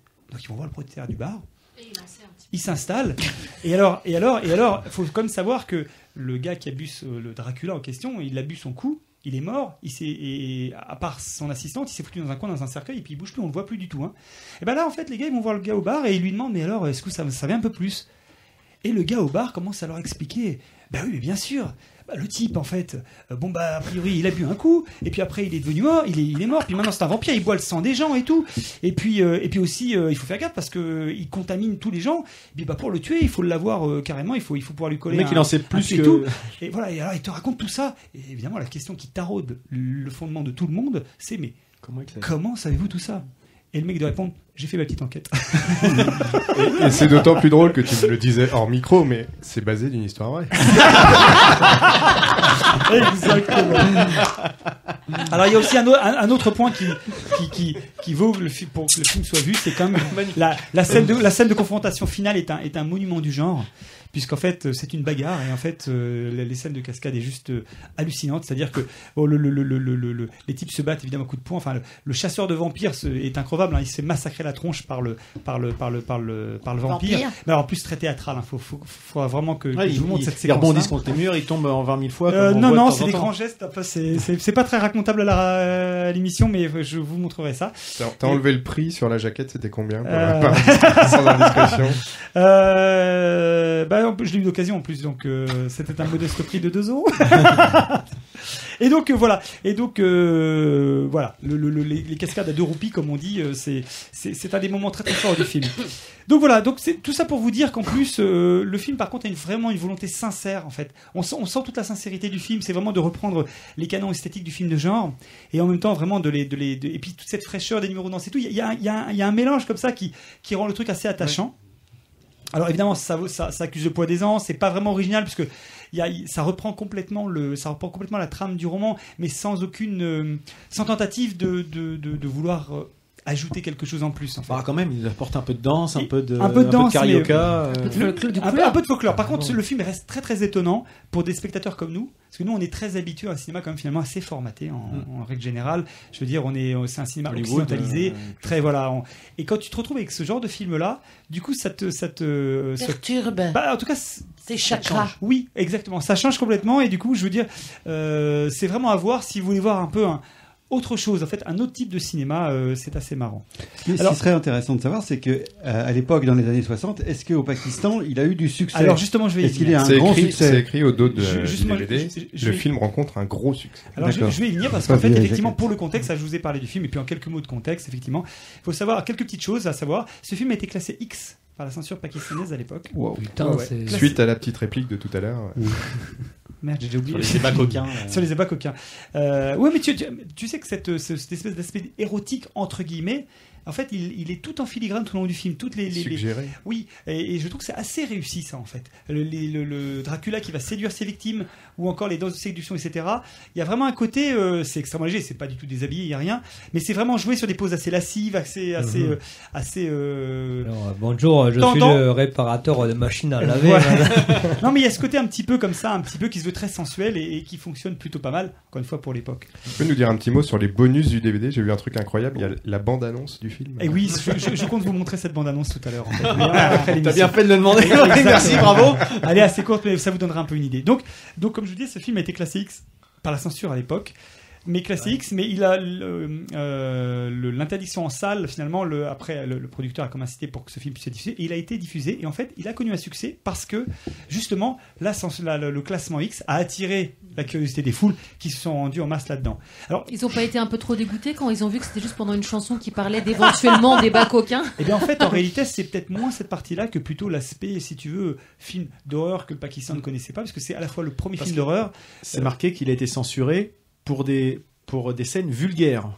Alors, ça, veut, ça peut être. euh, Essaye d'être plus clair quand même, Ouais, Lulu, y a- quand t'expliques un truc, parce que là, en fait, ce qu'on lit là-dessus, c'est pas du tout ce que tu dis. Oui, mais ça, c'est pour accrocher le, c'est pour accrocher le. Ouais, le- c'est le- même écrit au-dessus, anecdote. Le, c'est c'est Ouais. pour accrocher le chaland, si tu veux. Ouais, Parce que attends, tu as un making pas of sur ce DVD.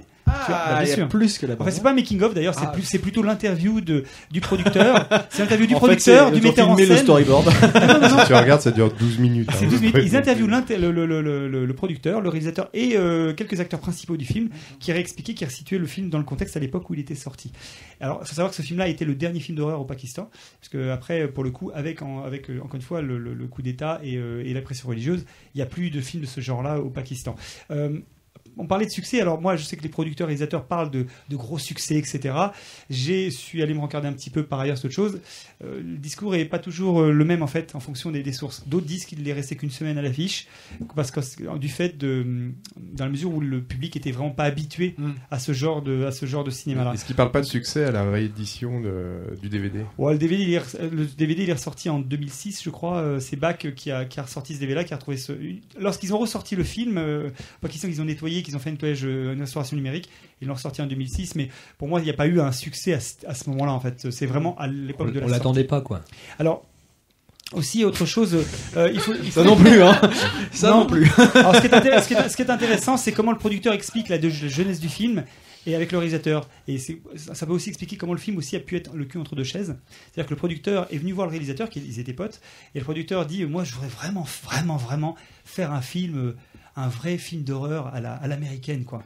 Un truc euh, vraiment. euh, Et le réalisateur dit Attends, c'est quoi ton truc Euh, Non, non, mais c'est pas pour nous ça. Et il est revenu une fois, deux fois, trois fois. Et à ce moment-là, le réalisateur dit Ok, je veux bien faire ton film. Par contre, c'est moi qui choisis les musiques, c'est moi qui mets des numéros dansés, etc. Et donc, on peut supposer que quand même il y a eu des compromis un, et qu'il y a deux films en un en fait là-dedans. Euh, juste un truc, euh, Dracula, il y a des allusions chrétiennes dans le film, dans le dans le livre, Oui. euh, la croix, etc. Enfin, c'est, Mhm. c'est euh, voilà, tout a été gommé en fait. Donc il y a absolument aucune allusion à, à une à une destruction du vampire par la croix, il est détruit par le soleil. Par l'eau bénite, toutes ces Euh, choses-là. Voilà, il n'y a pas d'eau bénite, il n'y a pas de croix, porc. etc. Voilà. le mec, il est con. et voilà, et en fait, il- d'ailleurs, il donne même une explication à l'origine du vampire, euh, qui est en fait l'origine un peu de façon de Jekyll et Hyde, puisque le gars boit un truc qui le transforme. Et ça, Comme on peut, voilà.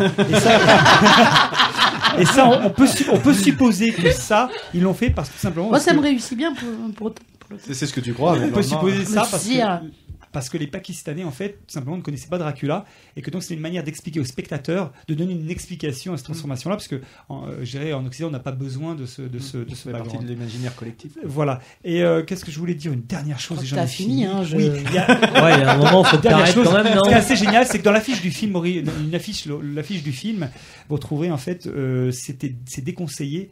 Alors pas celle-là, hein, parce que celle-là Ah, c'est une affiche DVD, mais il y a une affiche où vous trouvez euh, déconseillé aux personnes qui ont peur des démons et qui ont peur des- des- de toutes ces choses-là, etc. Dans l'affiche de 67, c'était ce qui était indiqué pour bien dire attention. euh, N'y allez pas si vous êtes euh, si vous êtes trop sensible. Voilà, donc euh, Eh ben. c'est rigolo, c'est à découvrir. euh, une vraie petite Madeleine de Proust. On a pressé de voir la bande, la bande annonce. Hein. Je Oui, vous c'est- montrer ça. Enfin, j'espère vous pas trop vous l'avoir survendu quand même. J'espère qu'elle sera sur le site de l'entrepôt. Ah bah oui, bien sûr. Bah oui, c'est une excellente idée. Ah, voilà. Au boulot. On va en faire des vues. hein, Ah, ça, dis. ça, je peux te dire que. Je rappelle un Ah, Dracula au Pakistan Mais en langue originale. en ourdou, Zindalash. en ourdou sous-titré euh, Zindalash. Euh, voilà, le réalisateur s'appelle Khwaja. Sarfraz. Merci beaucoup. Starlet. Oui. Toi, alors va falloir euh, rebondir derrière ça quand même. hein. Oui. De quoi vas-tu donc nous parler? Attention. Oui. Quand je me, je me regarde dans quelque chose, je le fais à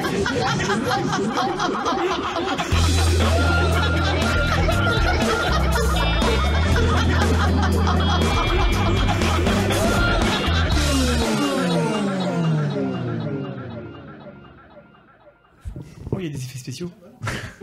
Quel bordel.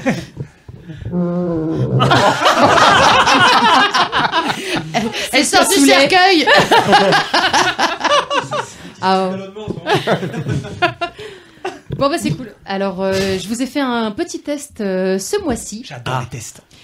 qui m'a pris euh, un bon mois. Je vais vous parler du kéfir de fruits. Du Du kéfir. Est-ce que vous savez ce que Bah, c'est c'est l'attaquant de Lyon. Il a dit quoi? D'accord.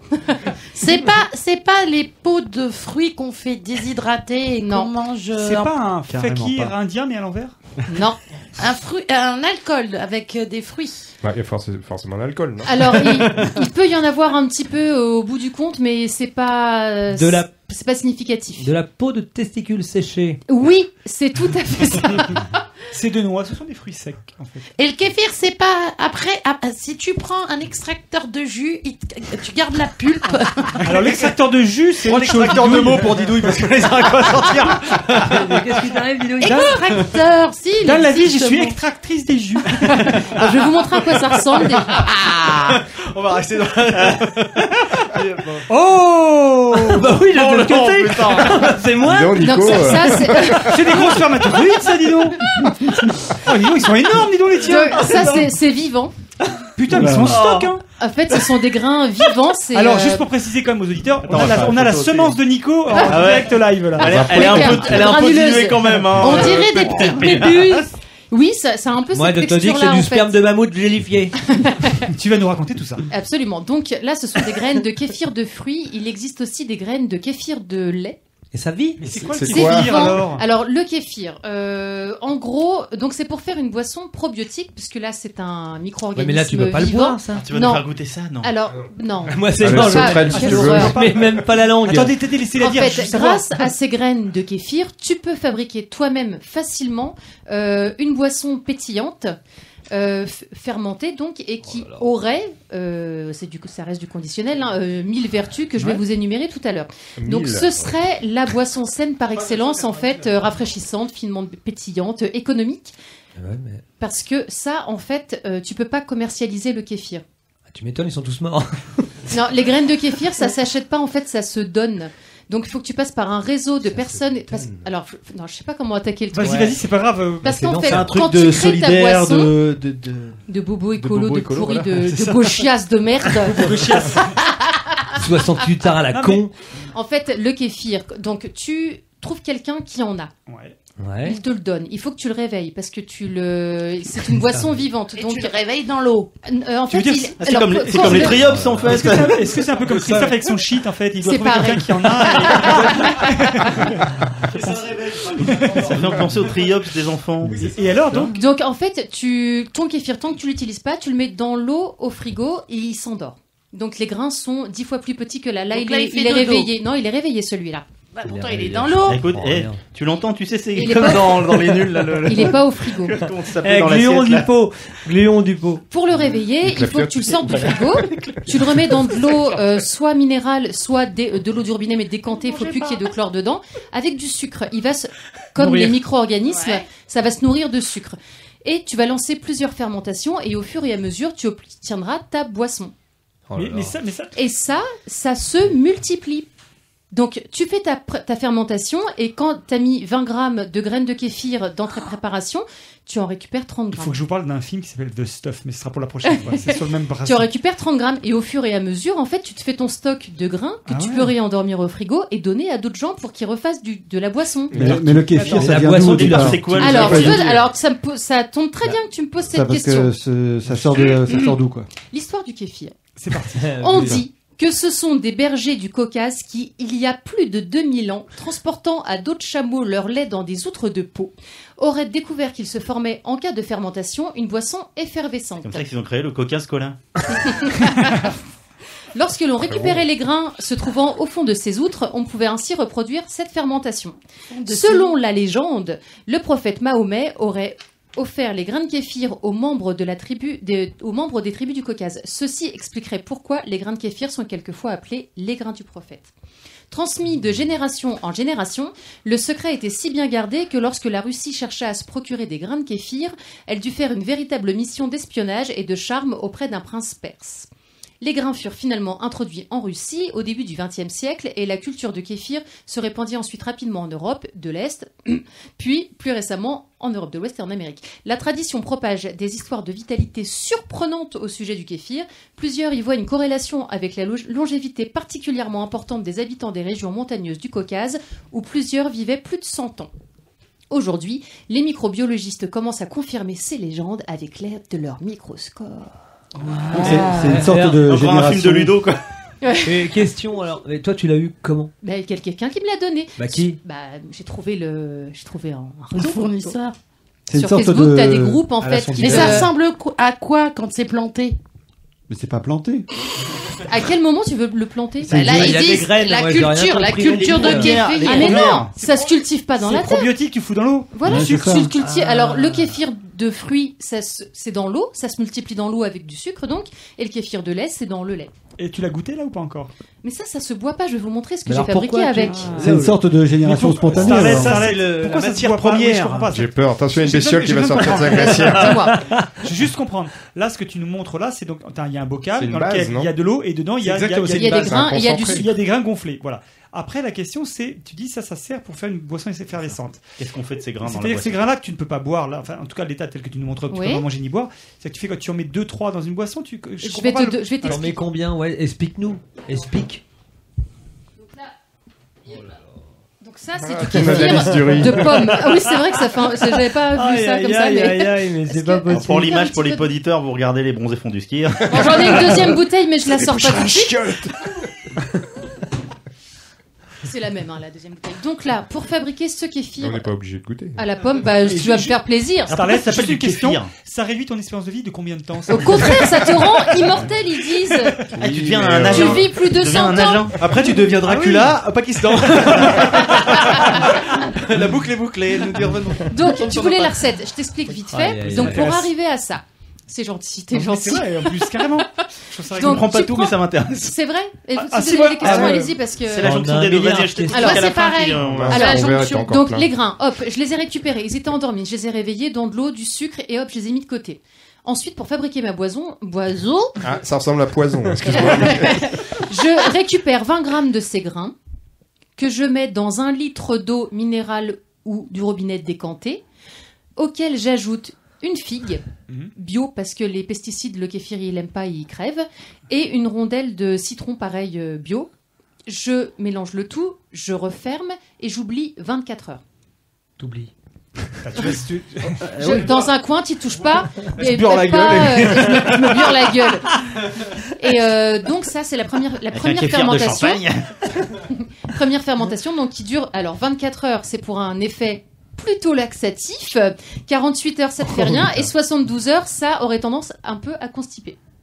Aïe, aïe, aïe. Il y a- ça agit sur le corps, c'est des... Et euh, ta figue et ton citron, c'est toujours le même. Il faut toujours. Non, tu le changes à chaque fois. Enfin, un, fi- un Ah, voilà. film érotique. la figue et Ta figue est en rondelle. La figue et la rondelle. Tu changes à chaque fois. Donc une fois que ta première fermentation, ça, on appelle ça la F1. Après Bon, 24 heures. Après donc. 24 heures, donc tu tu passes donc alors aucun contact avec le métal, aucun contact avec le métal. Donc tu filtres Donc avec tu un mélanges papier filtre. Non, avec une passette en plastique là, une petite Ah oui, en nylon. pla- en nylon. Pourquoi, Euh, pourquoi le Ça tue le kéfir. Ou un bas. Ça oxyde, c'est un oxydant le Ouais. métal. Donc, Ou un euh, bas ou une vieille chaussette. Voilà, ou alors des couverts en inox, mais en tout cas pas de pas de couvert euh, Mm. classique, euh, voilà. Euh, une cuillère en plastique ou en bois, enfin voilà, ça doit pas toucher le, le que tu te resserres du kéfir après Oui, parce que et en plus, donc à la fin de cette première Il fermentation, s'est multiplié. il s'est multiplié. Oh de là. 20 grammes, je serais normalement environ passé à 30 grammes. Donc Ouais, je mais comme c'est récupère. dans l'eau, je comprends pas Je peux passe le avec mon chinois. Je, alors, j'ai ma première bouteille. Marius va te demander, mais, qui est ce chinois là qui débarque dans ton Oui, histoire qui On parlait du Pakistan tout à l'heure. Mais non, mais d'accord, tu récupères les graines, c'est elle que tu. euh. Ta première fermentation, donc après t'enlèves tes grains, ton citron, ta figue, et tu peux euh, consommer ton kéfir comme ça. Tu peux Non, aussi, est, pour aromatiser ta boisson, passer à la, la fermentation numéro 2.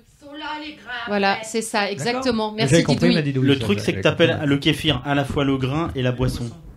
C'est vrai. C'est Alors les grains, que- oui, c'est vrai. qui me perturbe. C'est vrai. c'est- Alors Moi, je ce vais qui, dire me- grain ce de qui me- kéfir qui perturbe, c'est à l'origine, à l'origine du début du commencement. euh, ils viennent Dans les graines, outres de, des chameaux, on, On a dit te le tout dire, à du l'heure. con. Ouais, mais d'accord, mais de- depuis combien de temps euh, c'est- Non, on te l'a dit 2000 aussi. ans, on a dit. Et donc dans le depuis Caucase. 2000 ans, il y a des gens qui se qui se Ils se bourrent la gueule, Qui ok. se filent des grains de kéfir. Alors, qui il y se refilent des grains de kéfir pour Ah, euh, t'es des perpétuer la, fermentation. Et il y a personne qui s'est dit à un moment, tiens, je vais faire un business Bah oui. Parce qu'il y a la chaîne du kéfir. Bah, C'est- Personne va aller kéfir. t'acheter ton kéfir Oui, alors que je peux contacter quelqu'un qui va m'en donner. Sur la TNT, c'est Ah, combien la chaîne C'est la télé 7 jours. Parce que tu vois, ouais, d'accord. C'est la télé kéfir. Donc, après cette première fermentation, tu peux boire directement ta boisson. Mais tu peux aussi l'aromatiser. En ce cas-là, euh, tu passes ta, ta boisson en deuxième fermentation. Donc, tu peux ajouter, et c'est ce qui va donner les bulles, la deuxième Jus de fermentation. Du jus de pomme. Alors, c'est une première expérience. C'est a priori ce qui donne le plus de bulles. Parce que moi, j'en avais pas beaucoup. Et là, c'est c'est bullaire. Enfin, il y a de la bulle. Bah, là je sais pas, on va le savoir en l'ouvrant parce que des fois ça explose, je l'ouvrirai peut-être dehors. C'est ce que j'ai vu sur internet. Donc tu mets du jus de pomme Oh. euh, si comme ça, tu peux mettre euh, des framboises, des fraises. c'est en fait, c'est la. Ceci n'est pas une recette de cocktail molotov. Et si vous nous écoutez, ne le refaites pas chez vous. J'allais dire, les Attention, enfants- attention, ce les kéfir enfants a ne été réalisé touchez par une au professionnelle. Alors moi, si, moi, moi, ce qui m'interpelle, euh, Starlight, c'est qu'est-ce qui t'a eu donné l'envie d'essayer? J'ai vu passer ça et je me suis dit bah, t- bah j'aime bien C'est sur, les sur trucs ces comme groupes ça, à la con. hein. Ouais. Non mais tu veux savoir ce qui m'a donné envie, c'est les vertus qu'on reconnaît au kéfir. Voilà. Allons-y. Vas-y, fais Bah péter. voilà, bah, Alors. fais péter les kéfirs. Est-ce Mais que c'est un Justement, anti-ride Justement, il y a ça comme vertu. Est-ce qu'il y a anti-ride, anti-oxydant, anti-machin? Alors, ça régulerait le système digestif. bah oui, Facilite t'as la, la chiasse après digestion, le 24 transit intestinal, Ça fait l'action d'un karcher, comme tu dis quand ça ouvre. détoxifie les intestins, De- de la réduit les flatulences et les ballonnements. Les réduit euh, Ah, c'est- mm. Donc on fait mieux caca. Euh, ce serait un super aliment, riche en vitamines, minéraux, acides aminés et enzymes.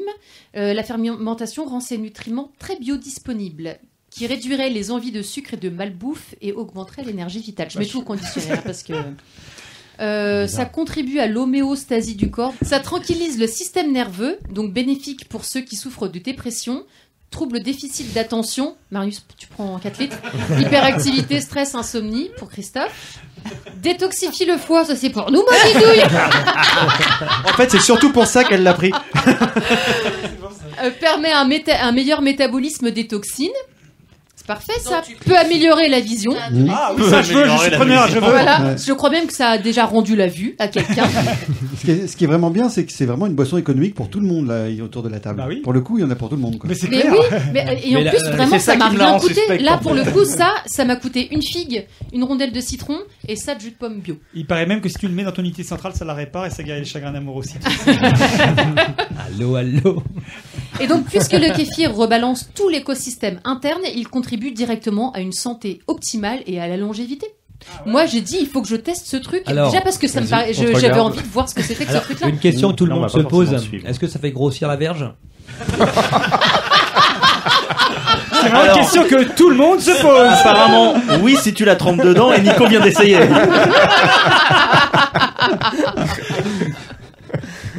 C'est-à-dire qu'il arrive à passer.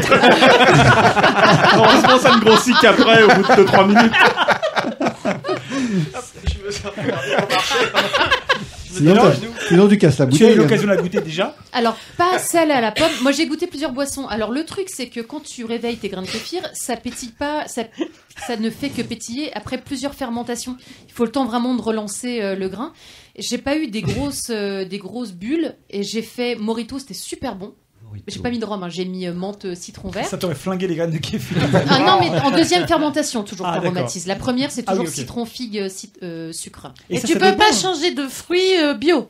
C'est toujours figue. La première et fermentation, c'est ce qui te. Donc il faut de l'acidité à part De le la- citron. Du, du sucre, Du sucre euh, du du sucre et du sucre bio, Bio. pareil. Il faut vraiment. Oui, il faut, euh, faut, faut sucre l'alimenter bio en fait. Quoi. Bah du sucre de Sucre blond, bio, pas euh, du bio, voilà. voilà. du sucre raffiné, euh, du sucre. Sinon, tu tues ton truc, en fait. Et on, on trouve que du, du kéfir de pomme. Est-ce qu'il y a des, des autres euh, Non, là c'est du kéfir. Du c'est- kéfir Mais nature. C'est pas moi qui l'aromatise en deuxième Oui, mais fermentation. au départ, tu dis que ce- le kéfir vient du fruit, enfin, vient de, des fruits. Kéfir de fruits. Non Non, non. Bah, Le- le- C'est Kéfir, graines. on moi. sait Non, pas d'où il Moi, j'ai vient. du mal avec les graines. Ah, Kéfir, Non, non. reviens pas là-dessus, il y a est né en 2000 ans. Il y a les, 2000 les ans, graines, dans des outres. les graines, Dans des outres des Elles étaient dans des ourtes quand ils transportaient le lait. Et au bout T'es dans les ours des loutres, Dans une yourte. En fait, le, kéfir est né dans une yourte. Non, mais il y a les deux. Il y a du kéfir. Il y a du kéfir de. Ah, tu vois. Il y a du kéfir de Des kéfir de. Pour mettre des boissons. Voilà. Il Vu la couleur, il y Et a l'accouplement d'un berger avec une loutre. crée ces petites Oui, graines. il y a du kéfir de lait, du kéfir de fruits. Absolument. Oui, Et c'est donc c'est différent du kéfir de lait. Le kéfir de lait, tu, tu le Ah, conserves dans le lait. Et euh, ça s'alimente différemment. C'est pour- tu peux faire des fromages frais avec le kéfir de lait. Je pense que je vais essayer aussi. Ça va faire Mais comme je- de la je rejoins la faisselle en Moi, fait. je, c'est moi, ça, je en fait. comprends pas rejoins vient la le, question de le, Christophe du coup. Est-ce que c'est le même, Le est-ce point que de c'est au départ. le même grain qu'on trouve pour Non, faire le parce kéfir que de le lait et le kéfir de kéfir de lait, c'est la même forme à peu près, sauf qu'il est plus opaque, il est blanc. Celui-là, il est, il Mais est je, trop je vois ce que veut dire Christophe. Moi aussi. Oui, je comprends. que- Qu'est-ce que c'est comme des- Bah oui, je, je saisis pas Oui. d'où vient le. Je le- Je pense que c'est pareil dans des outres euh, avec de l'eau. Oui, mais c'est une génération C'est un spontanée, secret, mais c'est quoi c'est- C'est C'est pour sais ça pas. que tous les gens starophiles comme c'est animal, c'est végétal, c'est un C'est champignon, c'est un. c'est ce que je Bah, au le sel c'est du lait, celle du lait, c'est forcément animal et celle du fruit, c'est végétal. C'est exactement ça. En fait, tu cuis. Bah, le lait, c'est animal. Mais non, tu les as trompés dedans. Moi, Mais j'avais c'est un pote qui s'appelait. Manimal. Mais ils les ont pas mis. Le kéfir de la lait a besoin d'une matière animale et le kéfir. Voilà. Tu, par contre, tu peux faire quelques. Elles se euh, sont créées dans le lait. Tu peux mettre du kéfir de fruits dans du lait de soja. Alors, la question, c'est est-ce qu'on peut créer ses propres grains de kéfir? Voilà, c'est Mais ça on, la on question. peut. Bah oui, mais ça. à partir de quand on a déjà. Et la deuxième Non, mais question, là, ça, donc, Bah ah donc, oui. je sais pas. deuxième question que tout le monde se pose. De- deuxième question que tout le monde se pose. Est-ce que qu'on fait grossir obligé la- Non, non. Est-ce qu'on est obligé de goûter en fait Ah oui. Bah écoute, Ah, franchement, ouais, mais on c'est va pas mauvais. ouais. Enfin, j'ai- à la pomme, ouais. j'ai jamais goûté. J'ai une question. Est-ce que ça se boit Est-ce que tu, ça se peut se garder au Ça frais frais Frais. ou Alors, frais ou est-ce qu'il faut garder à température ambiante Première fermentation, température ambiante. Deuxième fermentation, température ambiante. Plus tu vas laisser fermenter, plus il peut y avoir un petit degré d'alcool, mais genre 2 degrés euh, maximum, je pense. Et une fois que tu as terminé, pour stopper la la, fermentation, tu mets au frigo ça, arrête ta fermentation. Ouais, donc c'est une question de température. Ludo, ça, la ça nettoie les glandes sexuelles. ça, je, je, dis ça au hasard, je vois cette phrase-là. Ah, tu vas pouvoir te vider les couilles Ça nettoie les glandes, hein, pas le gland. Vous, vous, vous, pour quelques désagréments. Est-ce qu'on goûte Mais- bah, Oui. Ça, par exemple, ça, ça se conserve combien de temps 5 jours. 8 ans. Et ton histoire tout à l'heure de 24h48, tu sais, par C'est les rapport à- fermentations. Ça, c'est pendant la Ça, fermentation. Mais là, une fois que la boisson est faite, bah, ça fait quoi dès que- que t'as passé les Alors, 8 t'as dit jours en que t'allais fait l'ouvrir demain. Dans le fond, ça recommence à. T'as un dépôt. C'est un dépôt, c'est de la fermentation. En fait, c'est comme une bière artisanale, si tu bah, veux. C'est pareil. C'est vivant aussi Non. Là, la boisson, c'est bon, c'est plus vivant, tu peux y aller. mais tu sais, ta bière, elle est vivante. Du coup, il y a beaucoup de sucre dedans Mais pas, du tout, parce qu'en fait, la bactérie, elle a mangé le sucre. Ah, Donc, c'est pas du tout sucré. C'est assez diététique finalement mais comme ça a un goût sucré quand même malgré bah, tout. Euh, un goût qui est pas. J'aime pas trop le sucre. moi C'est pas un goût. Euh, des... Tu vas voir. Et plus sérieusement par rapport à tout à l'heure quand, tu disais les, scientifiques se penchent dessus. Euh, là, justement euh, pour rejoindre la question de Christophe. Là, quand les gars, des, gars sérieux se, penchent sur cette graine, qu'est-ce qu'ils par rapport à son origine. Bah bah, ah bah justement, il disait que. Ils analysent, enfin, ils partent de. Ils commencent à confirmer les légendes comme quoi ce serait un super, euh, une super boisson qui sert à tout. Mais sur son origine. T'as un meuble je à sais, Ça, je sais pas, par contre. Je sais pas. Tu veux pas l'ouvrir dehors? Je pense. Tu veux bien, chérie ah, ça se point Putain, ça va te péter à la gueule. ça Moi, je dis qu'il faut filmer ce moment. Et ça se trouve, ça me pas eh, ça se trouve, ça va rien faire du eh tout. Hein. Bah non, c'est possible. Je l'ai pas rempli à fond parce que. Elle a pas au-dessus de mes fauteuils euh... Non, ça donne pas l'impression d'être quand même. Non, bah, ah bah montre-nous Bah, ah bah oui, montre-nous quand même alors, donc Nico est dehors, il ouvre la bouteille de kéfir. Attends, on va, on va, photographier au moins l'ouverture de la Ça se trouve, ça va être trop nul. Bah, je vois rien en fait. on va s'en prendre plein. Là, ça va ressembler à un pet de fouf. Mais vise pas l'intérieur. Ah, il y a eu un petit ah. quand même. Petit... Eh, qui c'est qui l'a maîtrisé Il y a eu un shoot ou pas? Oui, hein. Allez, un petit ah peu. Ah ouais, ouais, ouais. Alors hop. Qui n'en veut on, va tous, crever, on va tous crever, on va tous crever. Mais non, dehors, tu vas être super beau. Donc là, il n'y a pas eu 24 heures de fermentation. Là, je l'ai fait hier matin. Euh, ouais. Euh, oui, Mais pas trop, mais pas trop, mais pas trop, ça sert à rien. Là, il est laxatif. Là, Ah, il est caca. laxatif là, d'accord. Vous savez que l'hôpital le plus proche, il est quand même loin. Alors, ce qu'on préconise, en fait, c'est. Ah, ah, non, non, non, non. Et ça se trouve, ça se trouve, ça se trouve dans, peut-être dans pas né. 200 ans, la Terre sera dominée par le kéfir. c'est ça, on est en fait. Merci. C'est ça. on déconne, on déconne. Ce sont des extraterrestres non, qui ont le meilleur euh, moyen. C'est ça. On va devenir des kéfiens. C'est très bizarre. Hein. Ah bon, c'est bizarre? Ah oui. Je me transforme en question. J'ai jamais goûté à la pomme. Vous en avez versé sur, le, sur un Ah, c'est bizarre. Alors, Attention, ça, ça, attaque les portables. T'as pas le goût de pomme, t'as le goût d'un euh, cidre. C'est le goût de euh, cidre. Un cidre euh, éventé. éventé Nico, ouais. juste deux doigts. Hein. Mm. Ça donne bien envie, hein, un cidre éventé. Ça rappelle certains sirops de notre enfance. Euh, je sais non. Pas. Ah, l'anthésite Ah oui, ça sent. Euh, non, ça sent. Euh. Tu sais, un vieux cidre. Ouais. Et puis il y a ah un goût de rose aussi. Ouais, il y a. Ça fait un ah. goût de rose. Ah, écoute, c'est dommage, Il y a un goût de mon loutre. verre est encore plein. Je Freddy, pas là, pouvoir, vraiment, là, c'est un foussard. Hein. Il y a un goût de loutre. Il faut quelqu'un pour vous emmener à T'en as pas pris, Nico T'as pas un goût de médicament, un peu, non? Si t'en as un, il est gros, regarde. Il est là, il est énorme. C'est encore On le remplit. moi. Bon, je sors pas la deuxième bouteille, si j'ai bien compris. Mais si t'as pas de verre, bois-le à la bouteille. Donc l'idée, ce serait Alors, pas du tout pétillant. Tu veux le fond peut-être Parce Non, qu'il il n'y a pas, eu le temps de fermentation, peut-être. Mais c'est. Ah euh, oh là là là là là. Oh putain, non, c'est désaltérant. Et vous avez euh, bu Bah, le c'est kéfir et le parasol s'est envolé. Dès qu'on a commencé à le boire, il se transforme en kéfir, le parasol.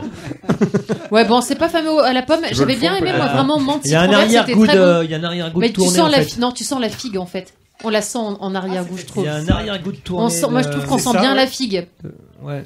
C'est ça que tu dis quoi, tourner ou la figue? Euh, il y a un arrière-goût qui me dérange. Bah, après, c'est super bon. En bouche, c'est pas Non, c'est pas mauvais, moi je trouve que ça. C'est pas, je trouve pas ça mauvais? Non, non, c'est pas mauvais. Quand même, bon, c'est pas, c'est pas incroyable. Euh, un truc, ah non, je peux pas. C'est vrai, bon, bah, vas-y. intérêt à avoir des vertus, hein, parce que. il y a un goût de tournée pour moi. Je préfère l'odeur. Pas des vertus, la Oui, mais je comprends. Non, mais ça a le goût. Je trouve que c'est a le goût de cidre vraiment fermier, mais qui a plus de bah, bulles en hein, c'est possible. Non, écoute, euh, je vais plutôt prendre du gâteau. Bah là, pour le coup, je veux bien un bout de gâteau pour faire passer, parce que. Et tu n'as pas eu une menthe citron vert? Bah, je l'ai fini. J'aurais dû la ramener. C'est vrai que c'était meilleur. Menthe citron vert, c'était vraiment meilleur. C'était très bon. C'est la deuxième euh, fermentation, ça, quand tu ah, mets. La deuxième. Les... ton goût, en fait, c'est la deuxième fermentation. Là, je comprends que ça te donne envie de faire caca. C'est vrai, tout de suite, là, maintenant? Non. ça agit vite. Hein. C'est radical. Et donc l'idée, ce serait d'en boire un litre tous les jours, voire tous les Waouh. deux. alors, alors, ça va rester une idée. Hein. Kéfir, Non, Ludo- boire un grand verre à jeun, en fait, ça Non, te parce que si c'est dépure, laxatif, euh, euh, Par contre, c'est vrai que c'est pas très sucré, c'est agréable. Ça, Bah oui, c'est désaltérant. frais. Et puis je pense que quand j'arriverai euh, à avoir, mais le finis pas, vomis pas non plus. C'est pas tourné, mais. euh, C'est fermier goût de- quoi. On, particulier. tu Ouais, sens c'est le. On sent que c'est ça la maison, ouais. Bah, c'est fermenté, donc forcément, il y, a, il y a des champignons, des bactéries, des trucs, quoi. Tu crois qu'il vient vous Alors finalement le kéfir il vient d'où vous pensez Je l'ai gratté dans le fond de la cave. Moi, je pense que c'est une espèce extraterrestre qui. Ouais. c'est une- Et d'ailleurs, je crois que Ludo, la prochaine fois, nous parlera de kéfir, fais-moi peur. Bon bah comme ça au moins vous aurez que ça existe. C'est marrant parce que quand tu regardes ces petites bulles à l'intérieur, on a l'impression qu'il y a un noyau, une cellule. Bah qui se, qui divise en fait. monde. Ouais. On a, on a l'impression que des petites euh, méduses en fait. Si je l'ouvre, On ça sent que craint Nico n'a pas envie de le te remercier pour cette chronique. Ça sent le Non, sucre. non, euh, pas ça ta sent à la le gorge. Ça sent le sucre. Non, tu fais une tête genre bizarre. Ça manque pas de retour. Ouais, si je vois ce que tu veux dire. Ouais, il y a- Ouais, ouais, ouais, c'est vrai. Comme une le- Ça sent un peu comme une levure en fait. Freddy, j'aurais aimé avoir ton courage, le courage de refuser. Moi, ça va super, hein, je sais pas vous. Ludo, Ludo, où es-tu parti? Ceci est table. officiellement le dernier enregistrement de l'entrepôt pour celui qui le retrouvera. Bon, je sors pas la deuxième non, bouteille. non, non, pas de menace non plus. Quoi. Freddy sera le survivant, il pourra Oh, pouvoir c'est con, j'aurais dû vous ramener euh, menthe citron. Non, mais en même temps, Non, c'est c'est pas vachement bien hein. d'essayer. Moi, Bah je oui, trouve oui, oui. courageuse. Non, Ouais, ouais. ouais. Non, mais c'est sûr. Ah, il faut, hein, il en faut des comme ça. Bon, vous finis êtes pas, content d'avoir Marius goûté Bah Ah, oui, moi je suis. Oui. Bah, au moins, Bah, bah, je c'est connaissais cool. pas Ah, du non, tout. moi, non plus. Non, moi non plus. franchement. Super Ah, euh, mais il y a ce- Starlet. Il y a ce paradoxe entre Si. euh, le, le goût au nez et le goût dans la bouche. Qui me... Ouais. Ah, alors, retour d'expérience. Boire du kéfir a des bienfaits pour la santé, mais ce n'est pas sans danger. T'as vomi Tu viens Ouais, il est allé sur internet. Ah, ah bon Oui, C'est le même site que Marius avait trouvé. euh, Vas-y, dis-nous alors. En C'est-à-dire. fait, en fait, il t'explique que euh, si c'est mal préparé, ça peut être toxique. Si c'est trop au soleil, à la lumière, ça, ça, peut, être, ça peut être toxique parce qu'effectivement, ça- Des je champignons dedans. Et l'histoire du métal, c'est pas tellement que ça meurt, c'est surtout que ça crée des. Ça te. Ça te, ça te C'est cancérigène, ça. Voilà. Euh, Voilà. exactement. Et ils disent que pour certains estomacs fragiles ou certains systèmes digestifs fragiles, Oh là ça peut foutre le bordel, désintégré. puisqu'évidemment, les- la diarrhée ou les maux d'estomac, c'est que justement, ça peut, dé- ça peut, dé- ça peut déséquilibrer une flore. Si j'imagine, tu en bois régulièrement. Voilà, c'est c'est- c'est- c'est c'est bien. Reprend un J'ai juste verre tapé, ké- j'ai tapé kéfir, danger, et en fait, Du voilà. coup, Christophe euh, éponge. Ouais. Il a tapé ça au hasard. Ils disent que comme toute boisson fermentée, voilà, ils expliquent un petit peu le, le principe. il Ça faut- fermente dans ton estomac et dans ton intestin, je te dis pas. Parce que ce que tu disais, en fait, ce sont des. Ça, c'est les ce sont des, de Coca-Cola des qui enzymes, veulent. des euh, bactéries, en fait. Voilà, c'est ça l'origine. on peut l'origine, Oui. c'est que ce sont des, des, des bactéries. Ce sont des, des- des C'est un peu ce que nous évoquait euh, d'ailleurs Lucas des quand on champignons, l'avait un reçu peu, sur, ah, la- sur la bière. voilà. hein. Ah. Mais on Ah ringardise C'est le euh, principe, C'est de, de- voilà, c'est ça exactement. Et il nous en avait parlé pour la bière. Attention, effectivement, euh, certes- il y a certaines phases qui sont importantes. Exactement. Euh, Donc tout ce que disait Sarlet tout à l'heure, il faut faire, il faut respecter, ça quand même une préparation euh, là-dedans. Il faut juste le savoir. Merci Ludo. Bah, moi, De je peux cette précision. reprendre. Eh ben, vas-y. Ah bah vas-y. Hein. tu veux finir nos verres S'il y a une auditrice qui est intéressée, j'ai bientôt être célibataire. Ce qui est intéressant, c'est qu'il parlait Elle en pas- boit, elle en boit un litre par jour. hein. Ce qui est intéressant, c'est qu'au-delà de laxatif, il parlait carrément de diarrhée. quoi. Mais t'en bois de. de Si vous bois avez un ulcère à ou l'estomac, pas Non, j'en suis. Non, je dois. Un litre de kéfir par jour, et ben il disparaît au bout de deux mois. L'autre l'estomac Ulcère Ouais. Ah, c'est vrai qu'à la pomme, c'est pas le meilleur. hein. C'est le moins bon de tout ce que j'ai fait en fait. tu vois. Mm. Comme par hasard. Dommage, hein. Non, mais je Comme vous en referai. Hein C'est D'accord. dommage, c'est dommage. Oh, t'es gentil. Menthe Ou citron vert. ou Oui, pas. Ça me ouais, tente très bien, ça. citron vert, ouais, Eh ben, carrément. Freddy, puisque toi tu vas être super en forme, tu vas peut-être pouvoir nous préparer ton quiz. Ah oui, je vais Ah, prendre bah, ta place d'ailleurs. Qu'en penses-tu? Ah oui, mince. Enfin mince. Bah, non, mince. pas mince. puis euh, voilà. Euh, et, et, euh, puis euh, et, euh, et puis euh, euh, et puis euh, voilà. Bien, est-ce que tout le monde est là? Ouais Enfin, encore là Plus pour longtemps. Bah, un petit quiz, euh, un petit quiz multi-actu. Ah, il y aura une partie ciné, puisque vous n'êtes pas sans savoir que le Festival de Cannes ouvre ses portes ce mardi 8 mai. 71e édition. Carrément. Il y aura un, J'étais sans savoir. un petit C'était quiz, aujourd'hui. euh, Ce soir. Un petit quiz ciné. Il y aura aussi un petit quiz musical, euh, vous savez qu'on parle beaucoup de mai 68. Je vais vous passer la bande son de mai 68 et c'est vous qui allez me donner les réponses. Oh putain. Et Oui, puis un petit quiz, euh, un petit quiz what the fuck avec euh, six questions qui n'ont rien à voir avec euh, tout ça, mais qui sont euh, mais qui sont intéressantes Qui et sont qui vous donneront un point pareil. Qui note les points? Moi, je veux bien le noter parce que. Il y a une question pour nos auditeurs hors note. Bien sûr, avec un cadeau à gagner. Euh, un cadeau qui est le livre de Benjamin Adam qui s'appelle Deux mois à Rouen. C'est le journal de résidence de Benjamin Adam. Vous savez, Benjamin Adam, on l'avait eu au micro de l'Anthropode euh, lors de notre euh, émission de Normandie Bulle à Darnétal. Et toi, tu l'avais eu en interview. Et je l'avais eu en interview après. Je sais pas si vous vous souvenez, il était passé à notre micro et dix minutes après, on savait qu'il avait le prix du scénario pour Prévert et Lartigue. Tout à fait. Lartigue et Prévert, Lartigue bon et. Prévert, ouais, bien vu.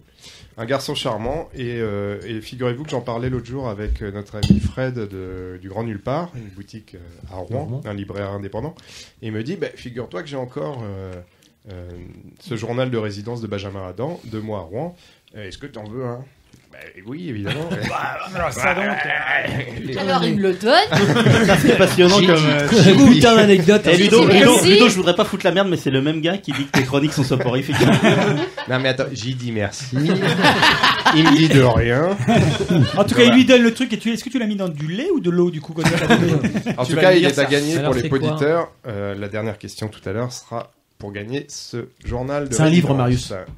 Oui, On non, y va Est-ce que tiens, vous voulez Eh, quoi vas-y, de- dessiner. Vous voulez quoi de la musique, du ciné La vous musique. voulez Oh, c'est toi le chef, hein, chef. Ah, non, Bah oui, on vous voit ce que tu veux, on voit la purée, chez La vous, hein. musique. La musique. Par contre, Delphine, attendez, il faut peut-être que tu remettes ton truc dans ton ta, plantation perturbe là. T'as peur qu'elle se Bah non, mais tu dis qu'il faut pas, faut que ce soit au froid. Mais non. Là, il est réveillé, c'est pas au froid. Oui, bah s'il rien se réveille le matin, Oui, il mais en même temps, euh, Ludo a lu que c'était dangereux quand on laissait trop au soleil. Parce qu'au soleil. Bah oui. Ah, je suis devant quand même.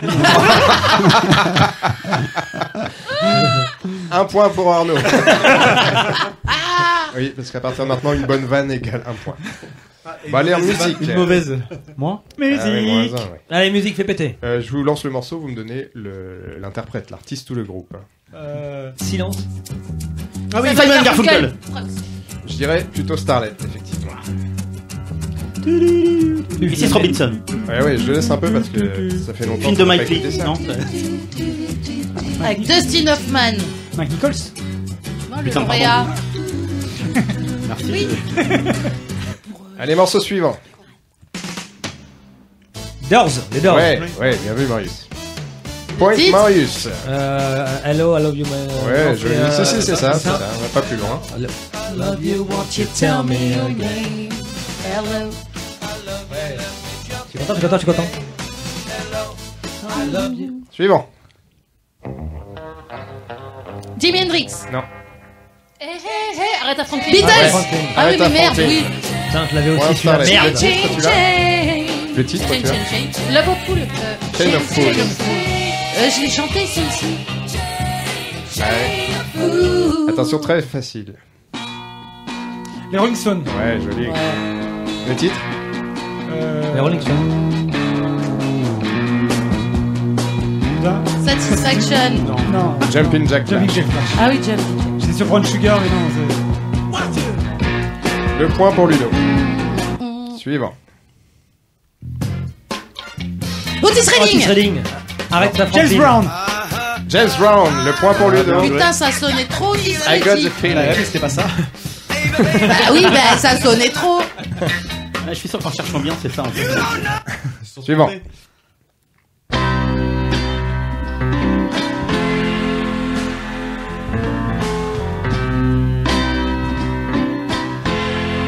Oh, ça me dit quelque chose, ça. Oh. Curtis Mayfield. Non, un groupe mondialement connu. Cream. Non. Fleetwood Mac. Beach Boys. Euh, Allman Brothers. Non, les. bah, merde. Ceux qui. ch- Merde. Ah, les Bee. Gees. Les Bee Gees. Ah putain. Bon, je reconnaissais pas la Passe voix. décisive de Nico. bah, j'ai juste dit oui, c'est ceux qui chantaient les. Mais je savais que tu l'avais. ah ouais. Le point, non C'est la voix. Point pour Ludo. Ludo. T'as mis le mien Un classique. Hendrix. Ouais. J'allais le dire. All Barbara. around the Rock Tower. Jimi Hendrix. Putain, trop vite, trop vite. On est toujours dans l'année 68 et je vous balance le prochain morceau. Janis Joplin. Ah, ça c'est. Les Shadows Johnny Cash. Non. Johnny Cash. Johnny Cash. Bien vu Arnaud. Point pour Arnaud. Christophe, tu notes les points, mais tu peux jouer aussi. Oui, oui, mais, euh, j'essaye, Il- j'essaye. Il est bon joueur. Alors, si tu peux me permettre, t'as mis ton casque à l'envers, c'est peut-être pour ça que t'as pas beaucoup de points. Tes cheveux aussi. hein. Ouais, je pense que c'est ça en fait. J'entends mal. Il est très mal. Allez, suivant. Otis Redding. Non. Janis Joplin. Ah, Ike et Tina Turner. Non. Euh, Johnny Joplin. Non. Diana Ross, les Pointer Sisters. Non. euh, Al Green. Non. Al Green. Non. Écoutez, écoutez, écoutez. Bobby McFerrin. Non. Les mamas et les papas. Non. Thank you. Les Platters. Qui a dit Thank you Temptations. C'est pas les. Earth, Wind and Jackson Fire. 5. C'est Non. pas les Earth, Wind and Fire Non. déjà, non Je sens que ça va être un point pour moi. ceux qui chantent. Papa, euh, c'est Papa le. Rolling Stone. Non. euh, Ouais, c'est- je Attends, croyais que attendez, c'était ça. La voix. Otis pas les, Redding. pas les Commodores quand même à l'époque. Non. Personne Euh, Attends, attends, Attends, attends, attends, une minute, oh, oh, euh, oh, oh, le morceau oh. dure 3 minutes. Monter un petit peu le son, s'il te plaît. Ah oui, ils sont 2,59 exact. Je monte le son. Ouais. German Jackson, Jackson 5. C'est très connu. The Who. C'est un peu. c'est- Ta- Tower of Power. Alice Cooper. Euh, Ah oui. Sly and the Family Stone. Ouais, Oui. Point pour Ludo. Bravo. Ah, putain, bah là, j'aurais jamais trouvé ça, moi. C'est marrant que ça vienne euh, après deux minutes. Ouais, mais c'est. euh, Fly and Family Stone. Je connais pas. Génial. Sly and the Family Stone. Je connais pas du tout. Allez, c'est parti. Janis Joplin. Deep Purple. Il n'y aura pas Janis Joplin. Ah merde. The Cream. The Who. Euh... C'est un style bien particulier. Ouais, ouais. C'est pas Blue Oyster ça. Cult, ça. C'est anglais. Bah, Non. les Beach Boys, non Non, c'est pas. Black Sabbath. Non. Bah, je tente. Hein. Alice Cooper. Non. Euh, Genesis. C'est un groupe connu. c'est pas Grand Funk Railroad Non. C'est Non. français. C'est pas Il y a français. une voix féminine. Oui, c'est assez. assez euh, Ah, c'est pas le Grateful Dead Non. Jefferson Airplane. Oui, Jefferson Airplane. J'allais le dire. Je n'avais jamais entendu ce nom-là. C'est vrai Lui, se régale. Bien vu, Ludo. Il faut dire, j'étais pas né, moi. Attention, le prochain, on a déjà entendu le nom parmi les propositions. Janis Joplin. The Who. Deep Purple. Alice Cooper. Fleetwood Mac. Curtis Mayfield. Écoutez, merde. Je mets un peu de son. The Cream.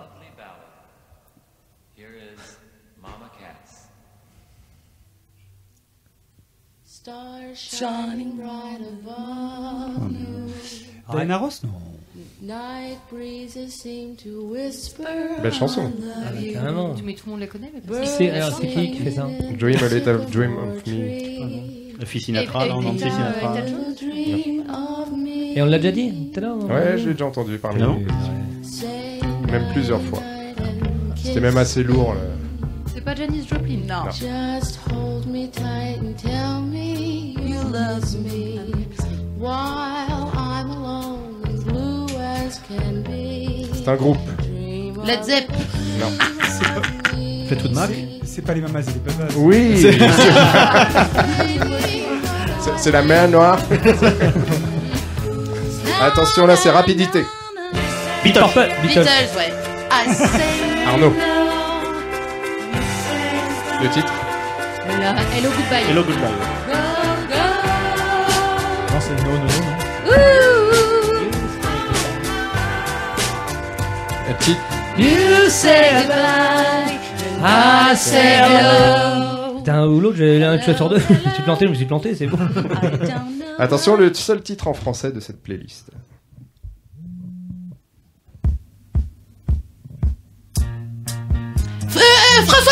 Oui, Sans aucun complexe. Ah, bien joué. c'est comment te dire adieu. Oui, je sais. je voulais chanter. Ah, bah, c'est pas comme ça. Mais non, mais là, ça Non, me mais ça stresse. ira, ça Non, ira. mais faut pas. Faut arrêter, madame. Vous avez bien Sans dit. aucun complexe. Prétexte. En plus, c'était même pas ça. Vivre sans Attention, complexe. grand classique, c'est parti. C'est un Kleenex Attendez. quoi Deep Purple. Écoutez bien cette J'entends rien. info. Deep Purple. Euh. euh Non. Joe Cocker. Joe. Cocker. For my friends. Ah ouais, mais vous arrêtez pas de beugler il faut, là. il faut pas beugler. Mais rien que les premiers coups de clarinette. Même on n'a pas pu les entendre. Premier coup de clarinette. euh, Woodstock, 1968. C'est plus ce que c'est le thème. Je crois que c'était le thème, mais je suis. C'est pas en 69 d'ailleurs Woodstock 68. Attention, il reste deux morceaux. Voici l'avant-dernier. Sûr. C'est un live. C'est pas les arrangements. euh. Non, comment il s'appelle Elvis. Ah oui, Jonathan Cohen. Ah non. Euh, Je John je Baez. John Baez. Jonathan. Ah non, moi. c'est. Ah, C'est c'est moi. Ludo. C'est moi. Il y a un petit peu Toi, dit t'as aussi. dit, ah, gars, Moi. De toute façon, Ludo, dès qu'il s'agit de se vider les couilles. Non, j'ai dit avant toi, je suis désolé. T'es déçu, t'es déçu, mais je l'ai dit avant toi. Chanson reprise par Bob Dylan. Moi, je crois que j'étais le troisième à le dire. Et euh, oui. Dernière 68 toujours. C'est parti. C'est à vous. Très reconnaissable. Babe, I Got You, Babe, Sonny and Cher. Non. Ah bon Pretenders. Euh, non, non. 68. C'est pas Jetro Tull, ça. Non, non, non plus. C'est. euh, Ça fait Agathe Babe. Bah non. Carpenter. Oui, c'est euh, Velvet Underground. Ouais, bien, Bien joué. Moi, je suis content parce que vous avez tout trouvé. Même ceux qui n'étaient pas faciles. Lulu a tout trouvé. Comes c'est surtout Ludo. C'est un spécial Ouais. Lulu quand même. Hein. Un petit point sur les scores. euh, Alors. Euh, Christophe Bah, évidemment, tout le monde a 2.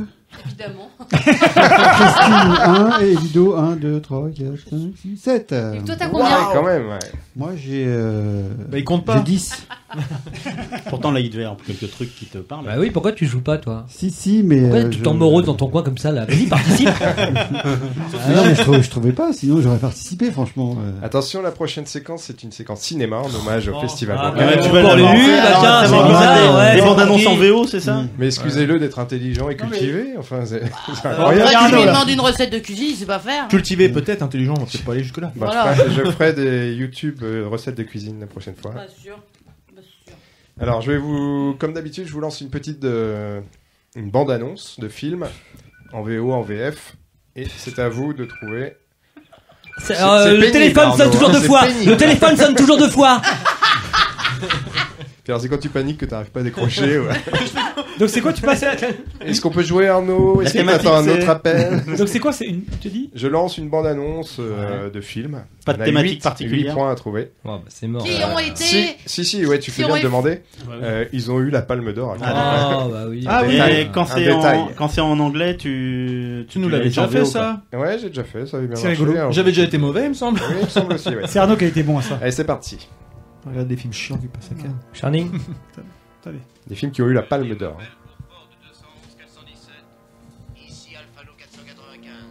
Euh, Odyssée Apocalypse 2001, 2001, l'Odyssée de l'espace. Dans un précédent film, La, la les planète des singes critiques saluèrent en lui un nouveau grand comédien. Après Mean Street, Non, ils crièrent au génie. Citizen De Niro, Kane. euh, euh, il était une fois en Amérique. numéro deux, Reggie Robert Bull. De Niro reçut l'Oscar. Euh, Taxi Driver. Ouais, Nico. Taxi Driver. Robert De Niro. Faites chier, j'allais le dire aussi, bordel, vous êtes trop rapide, c'est chiant. Moi, Je joue plus, ça m'énerve. Fois. regarde pas comme ça. hein. Arnaud, il prend ça très à cœur. On joue, on joue pas. hein. Extrait suivant, bande annonce suivante. Écoutez bien, la musique, c'est un indice. La pluie? Ouais, tiens, ouais, tiens. And when the rain Dracula. begins to fall. Emir Kusturica, Chat Noir, Chat Blanc. Ouais. Euh, non. The Freaks. Non, non, c'est Underground. Kusturica quand même. Underground. Putain, enfin. Passe décisive d'Arnaud. pour Arnaud, il va, se- il va se jeter par le. Il va boire tout le cul- kéfir cul sec, tu vois. C'est pas grave, si je peux D'ailleurs, contribuer au point de des caca, autres, moi. c'est une demi-victoire. C'est le... Deux extraits et deux fois qu'Arnaud dit culé. hein. Je vous remets un petit extrait Ah, c'est bon ça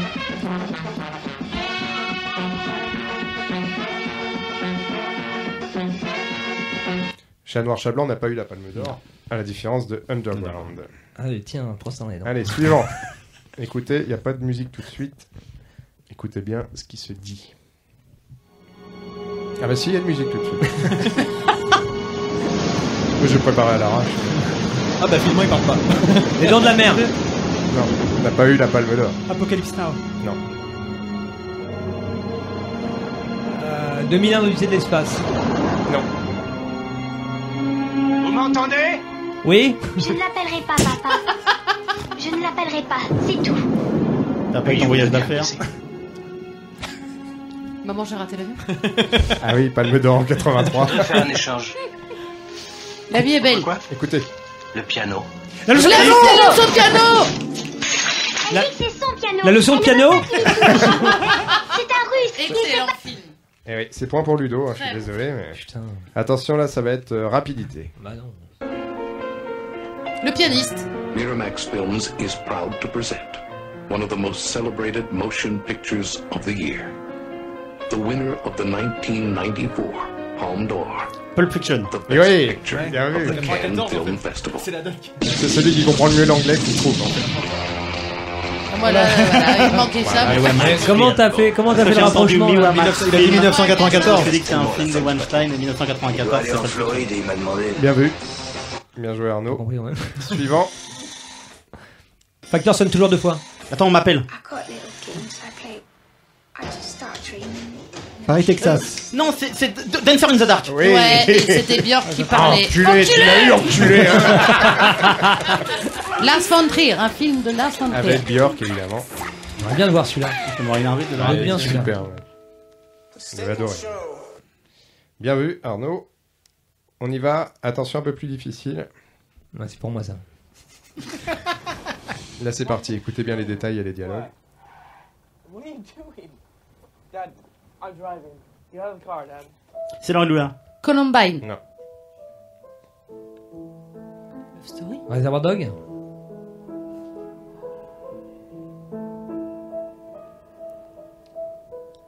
Mrs. Daisy et le chauffeur Non.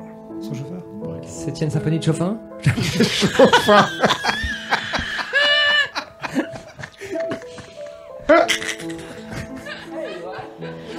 Je crois que c'est Modard, non Mom? Écoutez. I don't want to talk about it. Le choix de Sophie He's so cute. He has a girlfriend? Anna et ses filles? Euh, Ses sœurs, plutôt. What they do um, is that they will sit up in this high empty state. Where are you riding? Incendie Pulp Fiction Non. Euh, Forrest Gump Non. Incendie. What are you doing? Yeah, don't come back. Oui, je sais. Au revoir les enfants Arizona Dreams Don't go in there. Don't trust me. Just don't go in there, please. Essayez de le dire. Arnaud, on est pendu à tes lèvres. Il a des lèvres, Arnaud. Je n'ose plus parler parce qu'il va se prendre un coup par Arnaud. Le pianiste. Non. Il est mort. Le pianiste est mort. Écoute, écoute. C'est la redoute. ouais.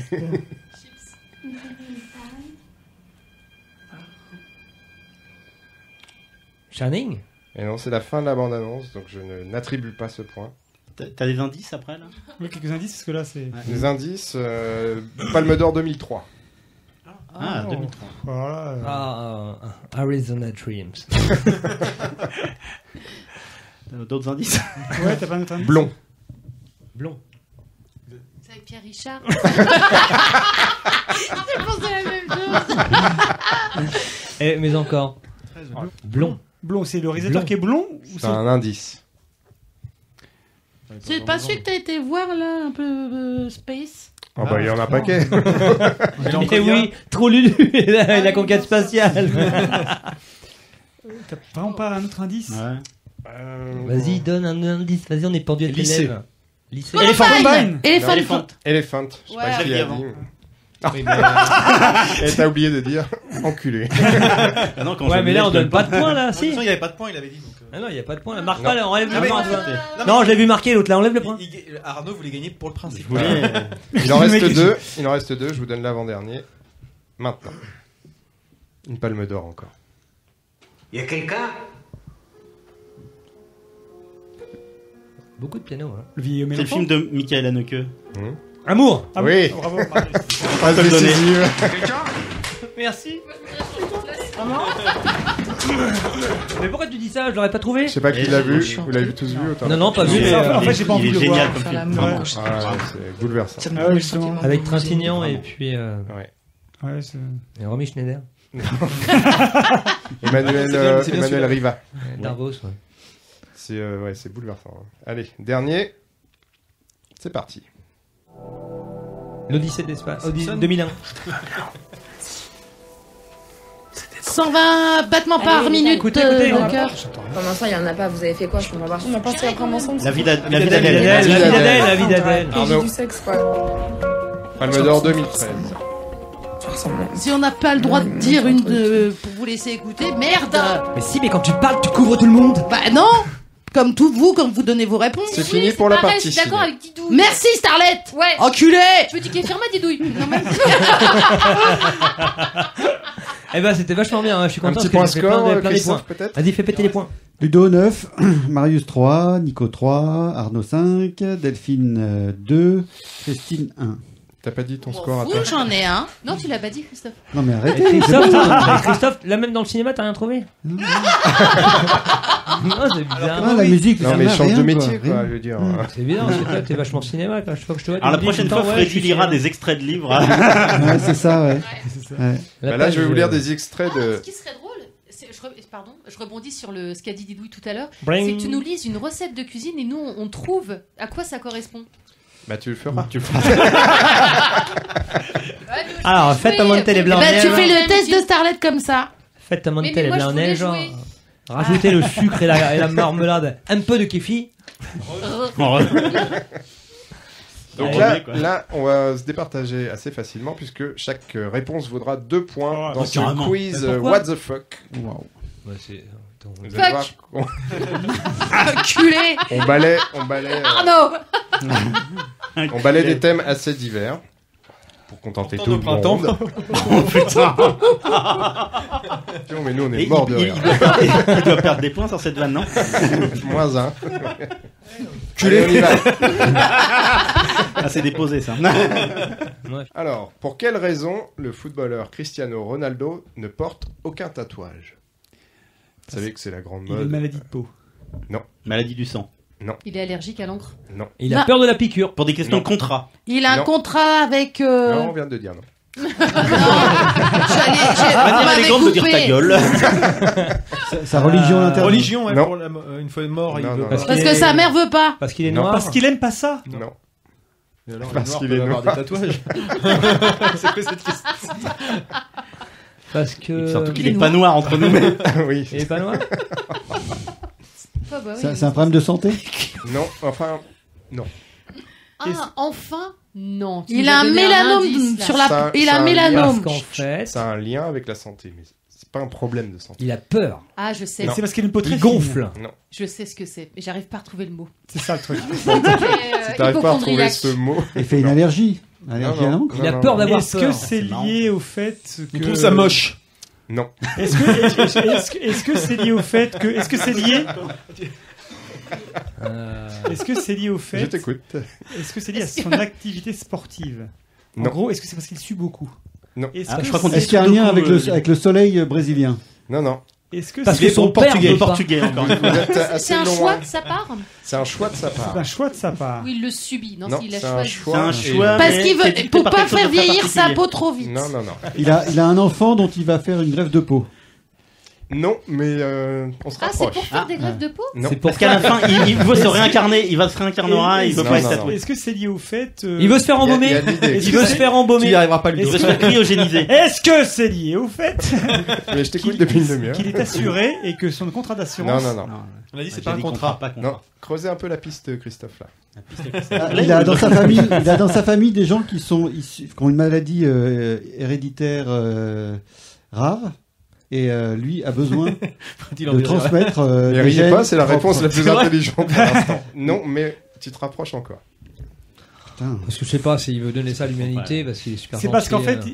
Il veut donner son, sa son peau à l'humanité. Voilà, c'est en fait, il, il, veut donneur d'organes. Il, est donneur de peau pour l'humanité. simple. Il veut sauver des enfants euh, qui auraient une maladie de peau. Oui. Eh ben moi, je... pas de eh ben, Qui auraient une maladie. Ah bah dis, ouais, tu, peux, tu, peux, tu, pas parler ah. fort non plus. Hein. C'est des enfants qui auraient des problèmes auditifs, par exemple. Voilà. il est il est porteur d'un.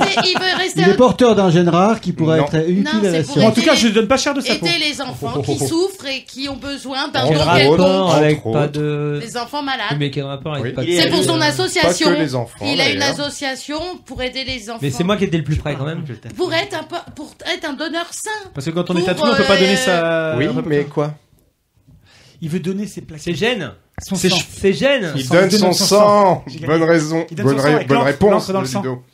Quand, on, ah, donne pas, son, sang, son, sang, voilà, quand on peut pas donner son sang pendant 6 mois. Bien joué. Or, lui, il ah, donne son sang hein. très régulièrement. C'est pour cette raison. Bravo. C'est marrant. Même ces points-là. Il y a des réponses tout à fait ah, égoïstes euh, depuis le début. Et alors, sur le foot.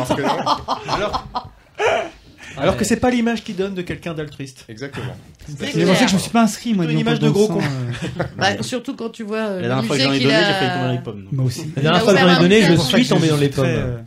Moi, je suis tombé, ils m'ont mis les jambes en l'air, machin, ils me tripodaient. Oh, j'ai attention qu'il chute en fait. C'est bizarre ton truc. Euh, t'es sûr que Pourquoi vous mettez un du sang doigt dans mon anus ah, Non, c'est pour te faire revenir. Donne son sang dans les bacs romoises. Ouais, ça a été efficace quand même. Ah bah, du coup, Ça c'était pour le don de sperme, je crois. Bon, une autre question. Oh, c'est pour chaque question, c'est un quart d'heure. Celle-là, elle risque de durer un peu. Il va faire 4 heures l'anthropode. là. Jean Robert a laissé sa place a fait sa première apparition dans l'émission de télévision La Classe sur FR3. Bigard, Pierre Palmade. Attendez, le ah, 8 janvier 91. Muriel Robin. Oh, tu penses bien que si je pose une cette question, c'est que. C'est une femme ou c'est un homme C'est un homme. C'est un homme. Il est connu aujourd'hui Bézu. Il est très connu. Bézu. Il, il déjà, il, il, avait, longtemps. il avait quel âge à l'époque Franck Dubosc. Il devait être tout jeune à l'époque, en 91. C'est pas la gaffe, c'est pas Bézu. Est-ce qu'il est grec? C'est Nikos? Non. Elie Moon. Non. Est-ce que c'est un quel aujourd'hui? Non, bonne question. C'est ce que c'est un homme politique. Il intervenait comme comique dans la classe? Macron. Il l'a présenté après euh, Fabrice? Non. Non. Macron. Non. Cyril Hanouna? Non. Est-ce que euh, c'est un homme politique? Non. Un journaliste? Non. Un, un chanteur? Hein. Ah, El Château. Pas un chanteur.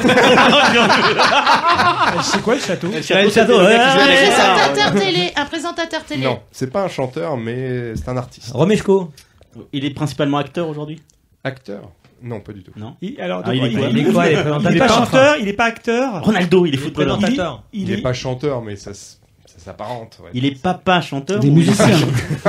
Jean-Luc Tu veux dire, que Grand Corps Malade était à cette époque-là euh, euh, Non, c'est pas ça que je euh, Laurent Gérard.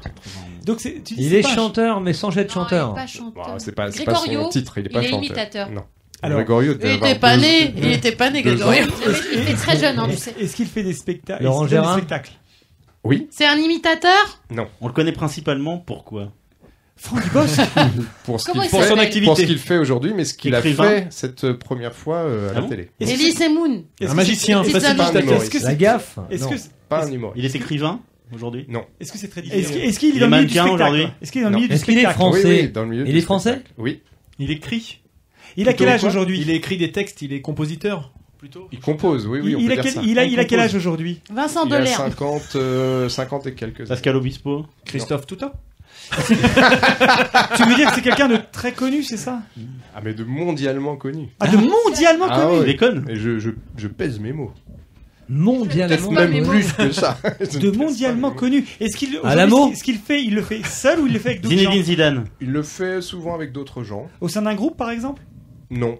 Patrick Sébastien. Mais alors si tu... il est sportif par ailleurs ou pas du tout? Non. En tout cas, il, court peut-être un peu le dimanche. C'est une activité artistique ou c'est ah pas Ah oui, complètement. C'est donc un peintre peut-être. Non. Un musicien. Un musicien, oui, on peut dire ça. On peut dire, ça. Il est chorégraphe musicien ou il est juste musicien? Il n'est pas chorégraphe. il est un peu musicien. C'est un des deux Daft Punk. Thomas Van Galter. Ou... C'est Ron. Non. Le mec de R. C'est le mec des R. Mais oui, c'est l'autre est blond là. C'est. Euh, David Guetta. C'est David Guetta. Encore une passe décisive. Putain. Et oui, puisqu'il intervient en 91 avec ah, euh, fort, Sydney, HIPHOP. Ah oui, ah, oui. Il intervient ah, dans la classe pour un morceau. C'est vrai. Oui. Ah, et, lui est au platine déjà. Euh, euh, Et donc il a plus de 50 ans, moi ça m'a mis, Ouais. mis un coup de vieux. Euh, On y va C'est une belle question, ça. Bon, bien. là, normalement les autres vont être plus euh, rapides. Enfin, je, je compte sur vous. Qui vient d'atteindre 96% Un indice, ce n'est pas Vladimir Poutine. Ah merde, j'avais pensé à lui pourtant. Le sexe de Ludo. 96% de Euh, quoi Puanteur. Est-ce que c'est est-ce que c'est une De sa élection? capacité maximum. Est-ce que c'est une élection? Pas du tout. Est-ce que c'est la plaque de plastique euh, qui Non. recouvre euh, le, Non. mer de plastique? Qui vient Tu peux reposer la question, s'il te plaît Qui vient d'atteindre Que vient d'atteindre Ah, J'allais dire, c'est une alors, personne attention. ou pas, voilà. C'est pas une personne. Sois précis, euh, Freddy. c'est une cause considérée comme une victoire que d'atteindre 96% là Oui, c'est pas le, c'est pas encore le maximum. C'est poli. Apprend-on cette semaine. C'est un record? 100% le maximum. Est-ce que c'est un C'est pas un record. C'est lié à la santé? D'autres sont à 97% par exemple. Euh, Repose ta question en fait. En marche Qu'est-ce qui vient d'atteindre Celle-là, elle était 96% Ouais. Qu'est-ce qui vient d'atteindre 96% Et 96% de quoi? Tu veux pas me le dire Justement. Mais c'est à vous de trouver, de euh, poser des questions. Est-ce que c'est lié au Le taux de de- de- d'accès à Internet Vas-y, on par la population Ah, la française? couverture, La la couverture couverture euh, Internet. 4G ou... La couverture 4G, Bien et c'est. Bouygues Télécom qui annonce cette semaine Bien joué. qu'ils a- atteignent les 96%. Ah non, bien joué Bouygues Télécom.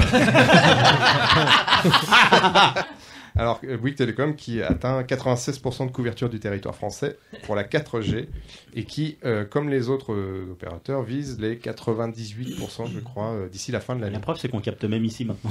Ah, Alors, c'est pour dire. hein, C'est de la population ou c'est Non, on du a toujours territoire super bien capté. La population, Ouais, t'as raison. Parce que c'est pas. Ouais, oui, oui, Il y t'as a quand même raison. plein de T'es chez zones qui? blanches encore, quoi. Ah. On y va? Allez, Ouais. fais Avec ta grande antenne. À 96%. Invention très remarquée au concours Lépine 2018, celle de ces étudiants qui ont créé une appli. Une appli pour quoi faire? On a beaucoup entendu parler de cette semaine. de cette Yuka appli. pour regarder euh, la composition des aliments? une appli pour la, pour la flotte qui coule sur le pare-brise Mais non. Yuki pour Eh les bien gens qui oui, c'est ça. les... Yuki pour les gens qui aiment bien les petits animaux. Ah. Une appli qui n'est pas encore euh, commercialisée. Ça n'existe pas encore. ouais, voilà. Pour apprendre euh, les mathématiques, les opérations calcules en chantant Pour une utilisation très pratique Pour certaines personnes, oui. D'accord. Est-ce qu'on est concernés, nous, autour de la table? Non. Est-ce que c'est pour, les que une- les personnes âgées? Est-ce qu'un coiffeur peut se tripoter avec cette application pour les, pour les conducteurs automobiles Non. Pour lire un texte, euh, on passe devant, puis ça lit un texte pour les mo- malentendants. Non, mais euh, tu Les malentendants. tu t'approches euh, vraiment là. Une traduction en Avec la- fait. en- euh, Tu vois, on se fout de ma gueule. Répète, Daphine. Euh, pour déchiffrer. euh, Ouais, si, si, Non, on a dit si, que si. c'était pas trop Un. Shazam Ah, truc il de. Shazam, scanne des codes en braille en fait pour et ça te du braille en fait. Non, non, non, du. Pour, euh, ouais, en fait, pour lire du braille avec son téléphone. Non. Vas-y, vas-y, cherche, cherche, comme ça tu fais la passe décisive et je récupère. Le kéfir. non, pas le Un doublé de Ludo en même- de temps, de veulent champagne. niquer ton petit truc là, ton petit boîtier. Ceci dit, on verra si c'est temps- bien, si ça trouve la nappe, on aura compris. En même temps, on a à notre table l'inventeuse du braille. En fait, tu. euh, De la braille, c'est la braille. Je vais quand même dire dire- pour nos auditeurs, pour ne pas boire son kéfir, Ludo l'a renversé sur la table. C'est en fait pour traduire un texte, mais ça, ça existe déjà. Pour traduire un texte, tu passes euh, devant. Ouais, c'est si c'est de l'allemand, ouais. ça te le met en français. Un traducteur automatique.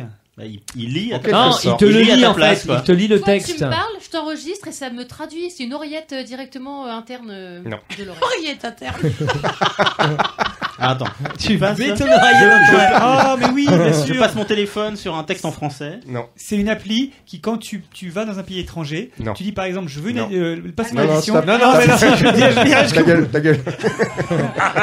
Alors c'est quoi donc du coup ça passe dessus et ça relie alors, Alors, ça ça passe traduit. dessus. Ah, Ça et fait loupe. Non. c'est pour. En fait, Génial, génial. Ça, c'est une invention. Ils ont inventé la loupe en 2018. Oui, mais on appli. Connecté, tu sais. Personne n'y avait pensé. Est-ce qu'il y a de la reconnaissance faciale ou quelque chose comme ça Ouais. D'accord. Il a dit facial. Alors, la reconnaissance faciale, c'est quand Didouille est contente.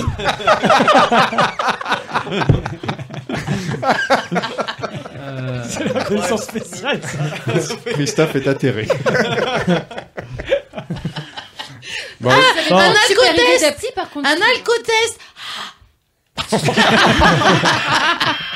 crois qu'on va en faire un tout de suite, je crois, Didouille.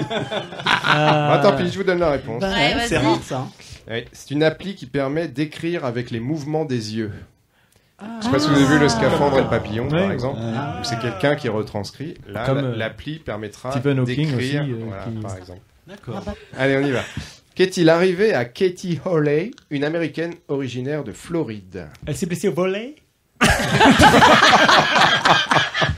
Je vous avais dit que c'était trop de questions aujourd'hui. Elle a pris froid Ah, Parce qu'il paraît qu'on les cahiers. une californienne, t'as dit Une Flo- Floridienne. Une floridienne. Floridienne. c'est c'est le nom d'une pizza, non Il y a des clitoridiennes et des floridiennes. En fait, ça n'a aucun lien avec Alors, la on va dire, qu'est-ce qu'elle a fait Alors Qu'est-ce qu'elle a Voilà. dit Qu'est-il arrivé à Cathy Holly Ouais. Elle a eu un accident En quelque sorte. Elle a vu un extraterrestre. Non. Est-ce que ça implique une interaction avec quelqu'un d'autre, un extérieur Elle s'est fait bouffer par un crocodile. Ou c'est toute seule euh, Il y a un peu des deux là. Elle est rentrée dans le crocodile Attends, et attends, l'en tu peux sortir. redire ce que t'as dit, toi Est-ce Elle qu'il y a s'est eu- fait prendre par un crocodile. Est-ce qu'il y a- En fait, est-ce qu'il y a eu une, int- est-ce qu'il y a Et une- il paraît que le crocodile vient dès que tu y goûtes, c'est mort après. hein. J'ai dit, est-ce qu'il y a une interaction avec un, un élément extérieur? Ça peut être Ouais, un, ouais, on peut dire ça. Et puis moi j'ai dit bouffé par un crocodile. un animal, Il y avait peut-être un moyen. homme Un ou un animal. objet Un Un animal. crocodile et il est rentré chez elle. Non. Arrêtez avec le crocodile. Un, ser- un serpent alors. non. Est-ce qu'elle a eu mal. Ah oui, elle a eu mal. Ouais. Il dit ça, ouais, elle a eu mal. La Et- coquille. C'est un animal domestique ou pas Non. Elle Est-ce s'est que fait l'animal attaquer. Elle s'est fait Est-ce que pas l'animal sexuel. est entré ou il est sorti Il est entré. Il est Et- entré. Elle C'est s'est un fait agresser par un animal. pas un Il est serpent. entré dans sa maison ou dans son Un corps rat. Dans son corps. Elle s'est fait attaquer par un kéfir. Il y a, il y a Un son, petit poisson. c'est son hamster qui lui est rentré par le. Enfin. Un rat. On, on arrive dans l'apéro du capitaine là. Est-ce que, est-ce que, est-ce que, euh, il y a une C'est histoire un de- poisson qui est rentré dans son anus. Est-ce qu'il y a une histoire, est-ce qu'il y a une histoire de ponte ou est-ce que Non. c'est- non C'est un moustique qui lui est rentré dans la bouche. euh, en Est-ce qu'il est de la rentré moto. Est-ce que c'est par la bouche Non. C'est Par un- l'oreille C'est Par un, l'oreille. c'est un Ok. insecte. C'est un insecte. Putain. Et il est ressorti par l'œil. Un cloporte. Un Donc, frelon. Ils ont cru qu'il y avait une tumeur au cerveau et quand ils ont opéré, il y avait un nid, un essaim de guêpe dans la tronche. Non, non, elle savait. Son, son mari lui a, a commencé à lui enlever, mais ça a duré 9 jours cette histoire. Une araignée. Un- Souris. Non, Est-ce Ah que non, c'est c'est ça un. Est-ce que c'est un ver Est-ce que c'est un ver Est-ce que c'est un ver Oui, qui c'est a un rentré une ver. chenille non. Un cheval. Un papillon Un papillon non. J'ai- Dis-moi, 9, jours, 9 Bah, jours, un ver. 9 jours pour retirer Et, le truc. et au neuvième jour, c'est l'ORL qui lui a retiré les dernières euh, parties de, de cet Un mille animal. pattes Non, Un Est-ce que c'est- donc c'est un Un insecte criquet non, Un criquet un insecte. solitaire. Une sauterelle. Un scarabée. Mais c'est un Une insecte. écrevisse. non, mais tu tournes vraiment autour. Un Un coléoptère cafard. Un cafard Oh putain. Ah, 9 jours Pourquoi 9 jours Bah, parce qu'il faut pas qu'il casse Parce dedans. que c'est resté 9 Pourquoi jours. tu dis enfoiré Et à chaque fois, ça enculé cassait, donc ils ont enlevé des pattes, le- l'arrière de l'animal, puis l'abdomen et le. et elle L'animal était mal. vivant ou. euh, Oui, oui. Au bout d'un moment, Et au bout de 9 jours, ils ont fini par enlever la tête. euh, Putain, quelle horreur. le- le- L'animal cherchait à entrer à tout prix par le conduit auditif. On y va, dernière question. Je vous demande de ne pas répondre puisque ce sont nos amis poditeurs qui vont répondre. Elvis Presley Je vous rappelle, le livre à gagner pour les poditeurs s'appelle Deux mois à Rouen. C'est le journal de résidence de Benjamin Adam. euh, qu'il avait effectué de mai à juin 2016. On y va, question poditeur. Un gérant de Franprix dans le 19e arrondissement de Paris a décidé d'interdire l'entrée de son magasin à une certaine population. De l'interdire à qui? Voilà, c'est tout, c'est fini pour aujourd'hui. Merci, Merci, Freddy. Freddy. Super Freddy, merci beaucoup. Je te rends la place, Nico. Christophe, tu peux nous donner les scores, s'il te Oui, plaît donc euh, évidemment, victoire de Ludo 10 points, Évidemment. Arnaud 7 points, euh, Nico 4 points, Évidemment. Marius 3 points, Delphine 2 points, Christine 1 point. Je crois que tu as oublié ton score à nouveau.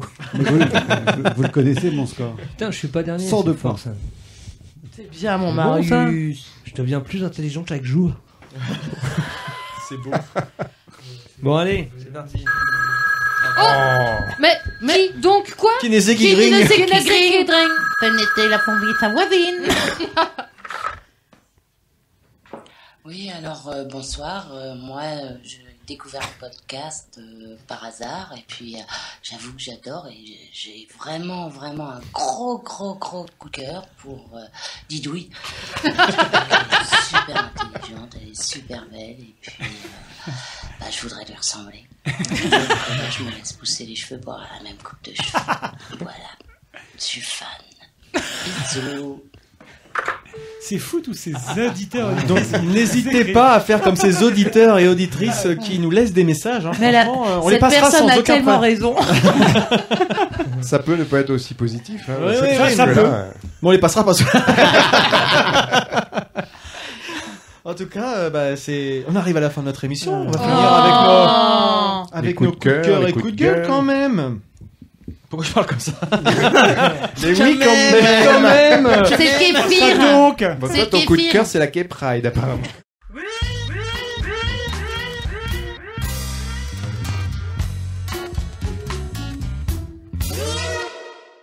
Qui veut commencer?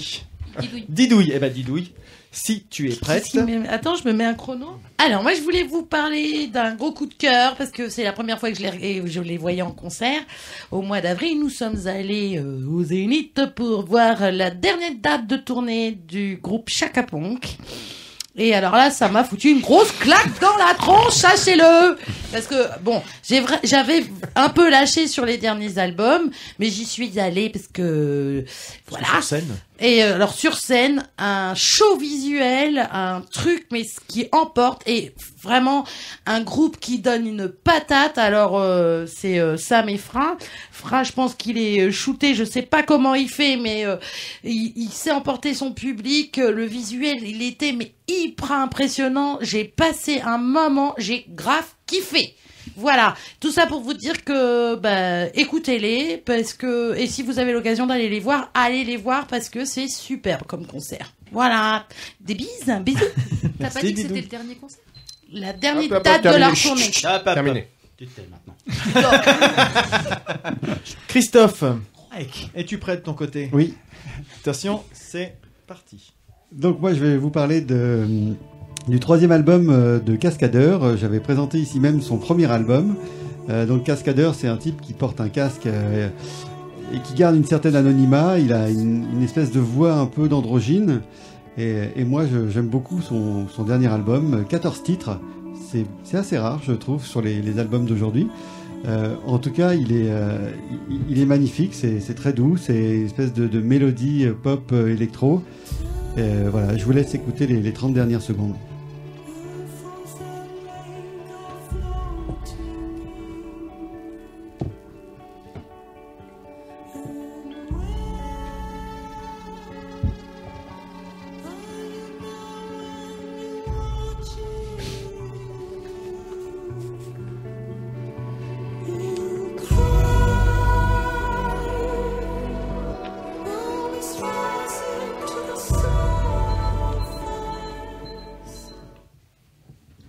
Merci Christophe. Oh, Ludo, Oui. c'est dans ta tête? Oh oui, ça, ça va être assez court en même temps.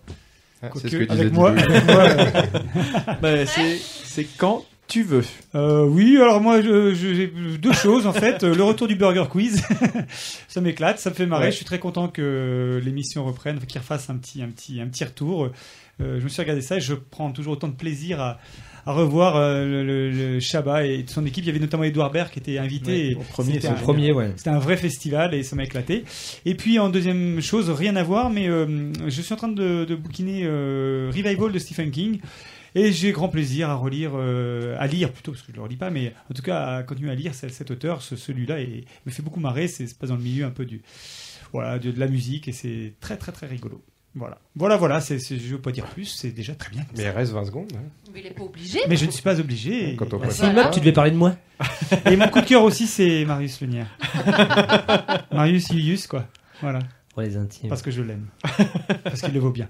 Tu peux le dire plusieurs fois parce qu'il est 4, 4, 3, Marius, deux, t'aime, un. t'aime, t'aime. Merci, Nico. T'aime. Non, mais c'est pas Moi, Nico. Ludo, moi, c'est Ludo. Lapsus révélateur. En fait, j'ai toujours voulu être Nico. toujours voulu être dans Nico. Oui, bon, mais c'est pas ça. ça va être à toi, tiens, ça t'évitera de dire des conneries. C'est parti. Moi, je voudrais vous parler de Brookline. Donc, Brookline, c'est un petit gars de chez nous, de Rouen. À 20 ans, il produit déjà sa propre musique électronique qu'il considère sombre, mais avec du punch et des accents hip-hop. Il a sorti son premier EP en mars 2016. Il est en préparation pour un album 11 titres qui doit sortir en septembre. Dernièrement, il a été programmé aux Inouïs du printemps de Bourges. Moi, j'ai complètement craqué. C'est une musique assez. C'est une très très très bonne musique, sombre et qui, qui booste pas mal. Euh, rien à voir avec le fait que ce soit mon petit cousin. C'est la famille. Sa musique, euh, sa musique est addictive à écouter sur toutes les bonnes plateformes et je vous prédis que nous entendrons encore parler de lui. Le morceau que nous écoutons en ce moment, c'est Paradoxe.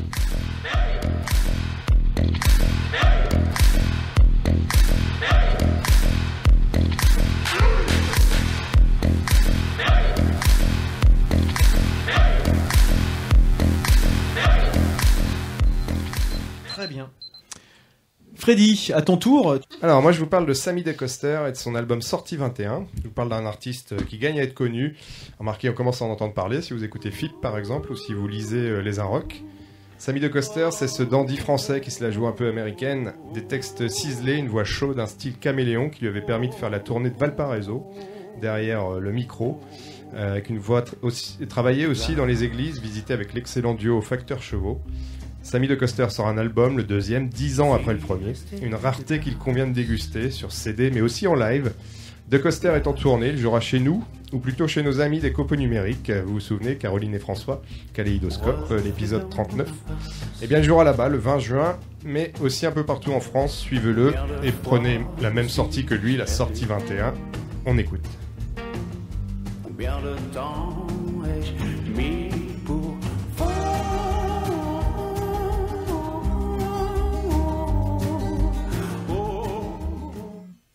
C'est fini. Merci. Arnaud, à ton tour. Donc je voulais vous parler de X Blié, projet du groupe nantais d'électro hip-hop Kabadzi. Particularité de leur album, les textes sont tous issus de dialogues de films de Bertrand Blier qui ont été retravaillés, croisés par eux.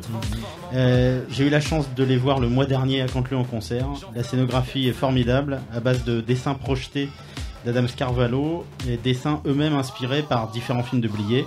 Et l'extrait qu'on entend là, c'est Bouche, euh, avec des dialogues de tenue de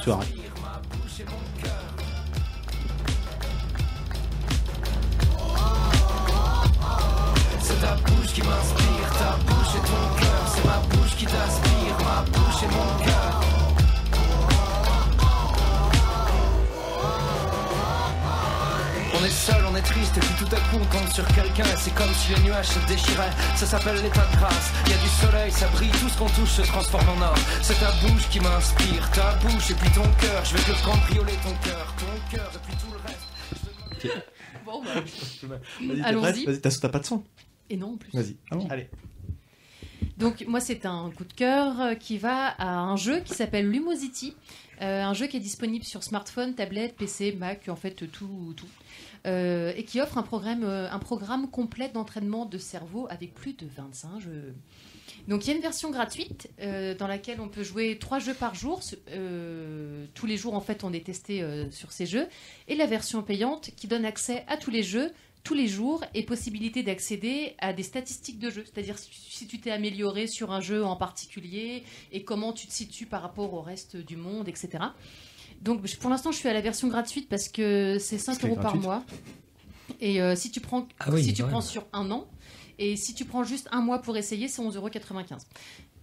Donc ça fait un peu cher, enfin, d'autant plus que ça me suffit comme ça. Pour et Arnaud, ça va. en gros, c'est un peu la version euh, 2018 du jeu Dr Kawashima sorti 13 ans auparavant en 2005. Mais c'est beaucoup plus ludique parce que graphiquement, c'est plus ergonomique, c'est c'est plus sympa. Merci Trop Starlet. fort, elle arrive à faire ça dans femme C'est vraiment sympa comme jeu. Bah, elle est- géniale. Et donc à mon tour, moi je vais vous parler d'un quelque chose qui vient de sortir. Donc c'est un c'est un jeu, c'est une, une expérience. Ça s'appelle Nintendo Labo. C'est sorti sur la, la console euh, Nintendo Switch. Donc euh, pour beaucoup de gens, euh, c'est euh, ni plus ni moins que des jeux en carton. Euh, mais c'est pas que ça en fait. C'est-à-dire que hum, J'ai eu, j'ai lu beaucoup de critiques initialement quand Nintendo a présenté ça en disant oui, euh, c'est encore un attrape-nigo, des, des accessoires, etc. Pour des trucs en carton, 60 euros, c'est super cher, etc. Sauf que c'est loin d'être, c'est loin d'être, c'est loin d'être que ça. Euh, on a nos enfants, nous, qui ont, qui ont ça depuis un moment. Euh, ils ont passé des heures et des heures, voire des dizaines d'heures dessus. Euh, on retrouve le côté maquette, c'est-à-dire que c'est ludique, c'est hum, ils travaillent aussi la motricité, ils font beaucoup de choses euh, et derrière ils voient ce qu'ils ont construit, ils arrivent à le mettre en perspective dans un contexte, etc. Euh, c'est vraiment quelque chose de, de formidable. Je trouve qu'il y a aussi euh, tout, toute l'ergonomie est vraiment extraordinaire, c'est-à-dire qu'il faudrait des, des- des notices de montage un peu partout comme ça. Euh, le seul souci qu'on pourrait y voir, c'est que ça prend un petit peu de place. Il faut quand même pas le, il faut quand même pas le nier. Voilà. Et ben voilà, on a fait le tour, on arrive à la Oh, fin c'était de. vraiment formidable. hein, À la mais- fin de cette émission. Je trouvais que c'était fantastique. Allez, sors de ta cuisine, viens dire au revoir. J'ai Eh. adoré. Hein. Lâche le fouet. J'étais en train de faire la tarte poireau camembert. Ah, c'est ça qui sentait le kéfir. euh, Pourri. Très bien, bah donc euh, tu reviens pour nous, avec nous pour la fin de l'émission Bah, bien T'inquiète sûr. pas, ça te prendra pas plus de deux minutes. J'essaie de parler avec des phrases de Ludo. J'ai l'habitude. Donc bah, on espère qu'on a passé un bon moment. Freddy vient de nous révéler que lui avait passé un très bon moment, qu'il avait adoré. C'était ironique. Ah. Nous on était contents de te Dédicace on était, on très contents de te retrouver. Ah oui, on était très contents de te retrouver, euh, Freddy, malgré ton, ton accoutrement vestimentaire. Mais en tout cas, Faut pas regarder en fait. Faut pas Si tu regardes regarder. pas, ça va. C'est vrai, c'est vrai. Mais il y a pas de collier surtout. Moi j'adore ces euh, olives Le autour du cou. côté. Les euh, olives vertes. ouais. C'est un truc de boule de geisha qu'il a.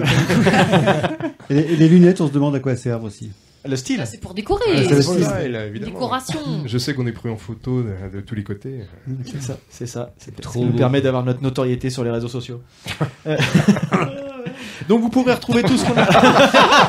Mais chez moi, Marius. Non, mais c'est- une bonne émission c'est- apparemment. C'est l'heure de l'apéro, Ouais, il va, il en peut un coup, plus. là, bordel. On va mettre du carburant là. Il sait qu'il y a une fontaine de morito qui l'attend. Apparemment, ton pas qu'on ironique. arrête maintenant, là, ça fait long. On y va Un justement. peu mal au cul là maintenant. En tout cas, n'hésitez pas à nous contacter comme Ouais. vous voulez, réseaux sociaux, le répondeur, Marius, ouais, le t'as retenu. répondeur, ouais, j'ai vu, j'ai vu le petit truc pour faire le répondeur. je- Euh, je- faire les étoiles, les pouces, tout ce que vous voulez comme d'habitude sur les sur les réseaux. pas. Euh, on se retrouve fin juin pour un épisode. Donc le 30 juin, dans un mois. Euh, normalement, on se retrouve puisque ça se passe chez Fred Duval, donc on n'est jamais sûr de rien quand c'est avec le Fred meilleur Duval. moyen, c'est quand même de le faire chez lui. hein. Au pire, au pire, c'est si on oublie d'y aller, quoi. Et C'est un traquenard- c'est un traquenard pour lui Des faire ses fois travaux. qu'on ait, euh, des bien, fois il y a qu'on des travaux de ait euh, peinture des qui travaux, ouais. Ce serait drôle. Ça. Et Carrément. donc, euh, pour, pour ceux qui nous rejoignent aujourd'hui, Fred Duval, c'est notre célèbre non-invité avec qui on va Ouais. fêter les 3 ans de C'est sa l'homme non-venue invisible. à notre micro. Et qui a, la- Euh, qui a la gentillesse de nous inviter mais chez voilà. lui. C'est le et seul même, qui a euh, fait ça d'ailleurs. Bonne Qui condition. est pas venu. Qui est pas venu. Ouais, bah c'est le seul qui a joué. En même temps, c'est le seul qui va nous inviter chez Ah, lui. oui, pour un et pour un barbecue en plus. Ce serait, ce serait drôle, effectivement, c'est qu'on oublie. On va y en tout cas, on va, on va aborder même- on va aborder plein de sujets avec lui euh, parce que c'est Ouais. quand même un auteur de, de BD très prolifique.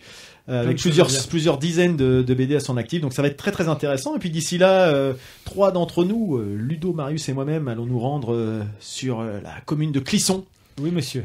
Pour aller le Hellfest tous les trois cette année. On a la chance d'avoir euh, Bah, nous, Bah, nous, la euh, possibilité. deux d'entre Bah, nous vont se retrouver à la Gaule. No, Gaule.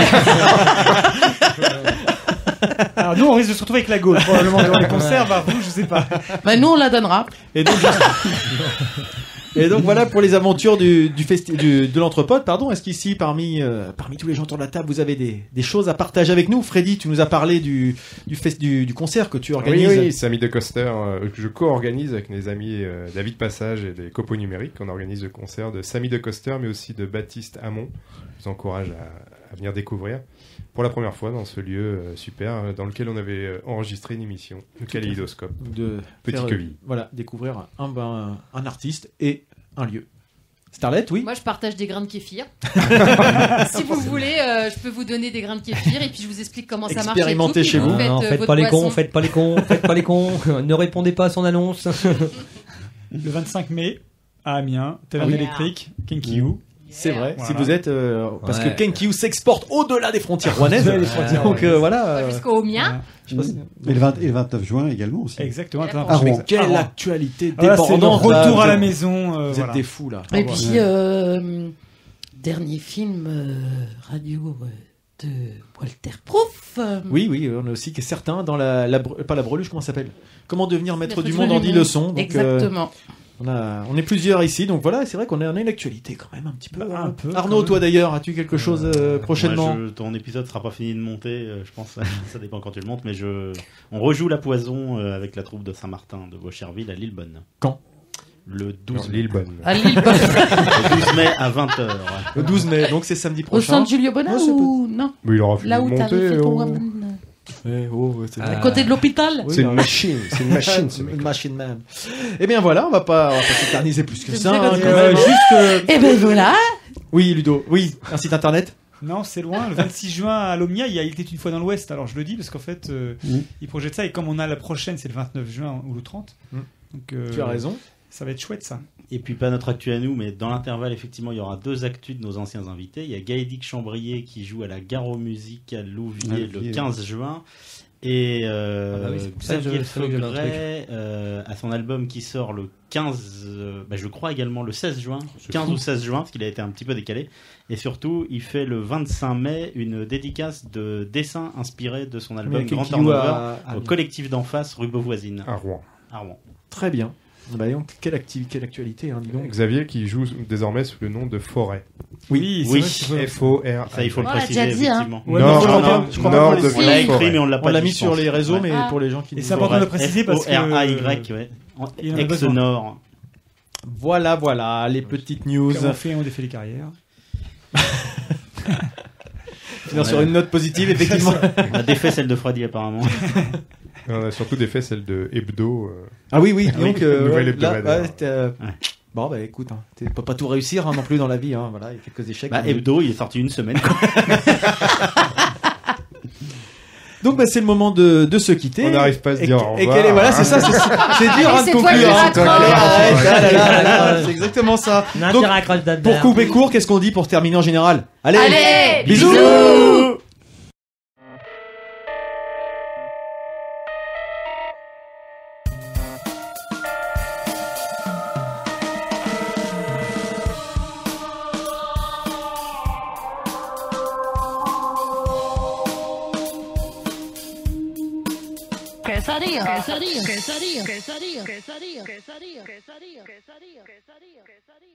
Il y a un petit son normalement. Tu as un petit son? Oui, je veux. oui. Alors, ah Celui oui, d'Idouille, c'était.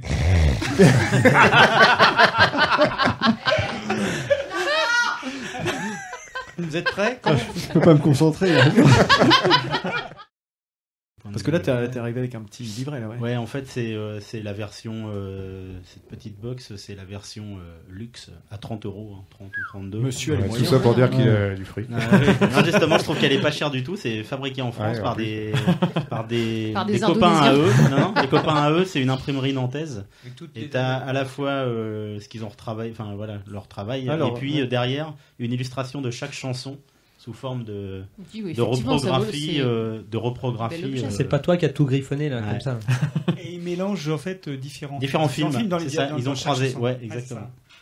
Je savais pas qu'on avait deux minutes chacun. Ah non, mais ça, ça, il les passera au montage. Ça, c'est voilà, Il y, a des, il y a des préférences, Ah, c'est tout. voilà, voilà. Favoritisme, favoritisme. Bah, super. Starlet, aujourd'hui, oui. t'as mis tes 5 minutes Bon, moi, je peux pas tenir 5 minutes. Hein. Ah, Nico que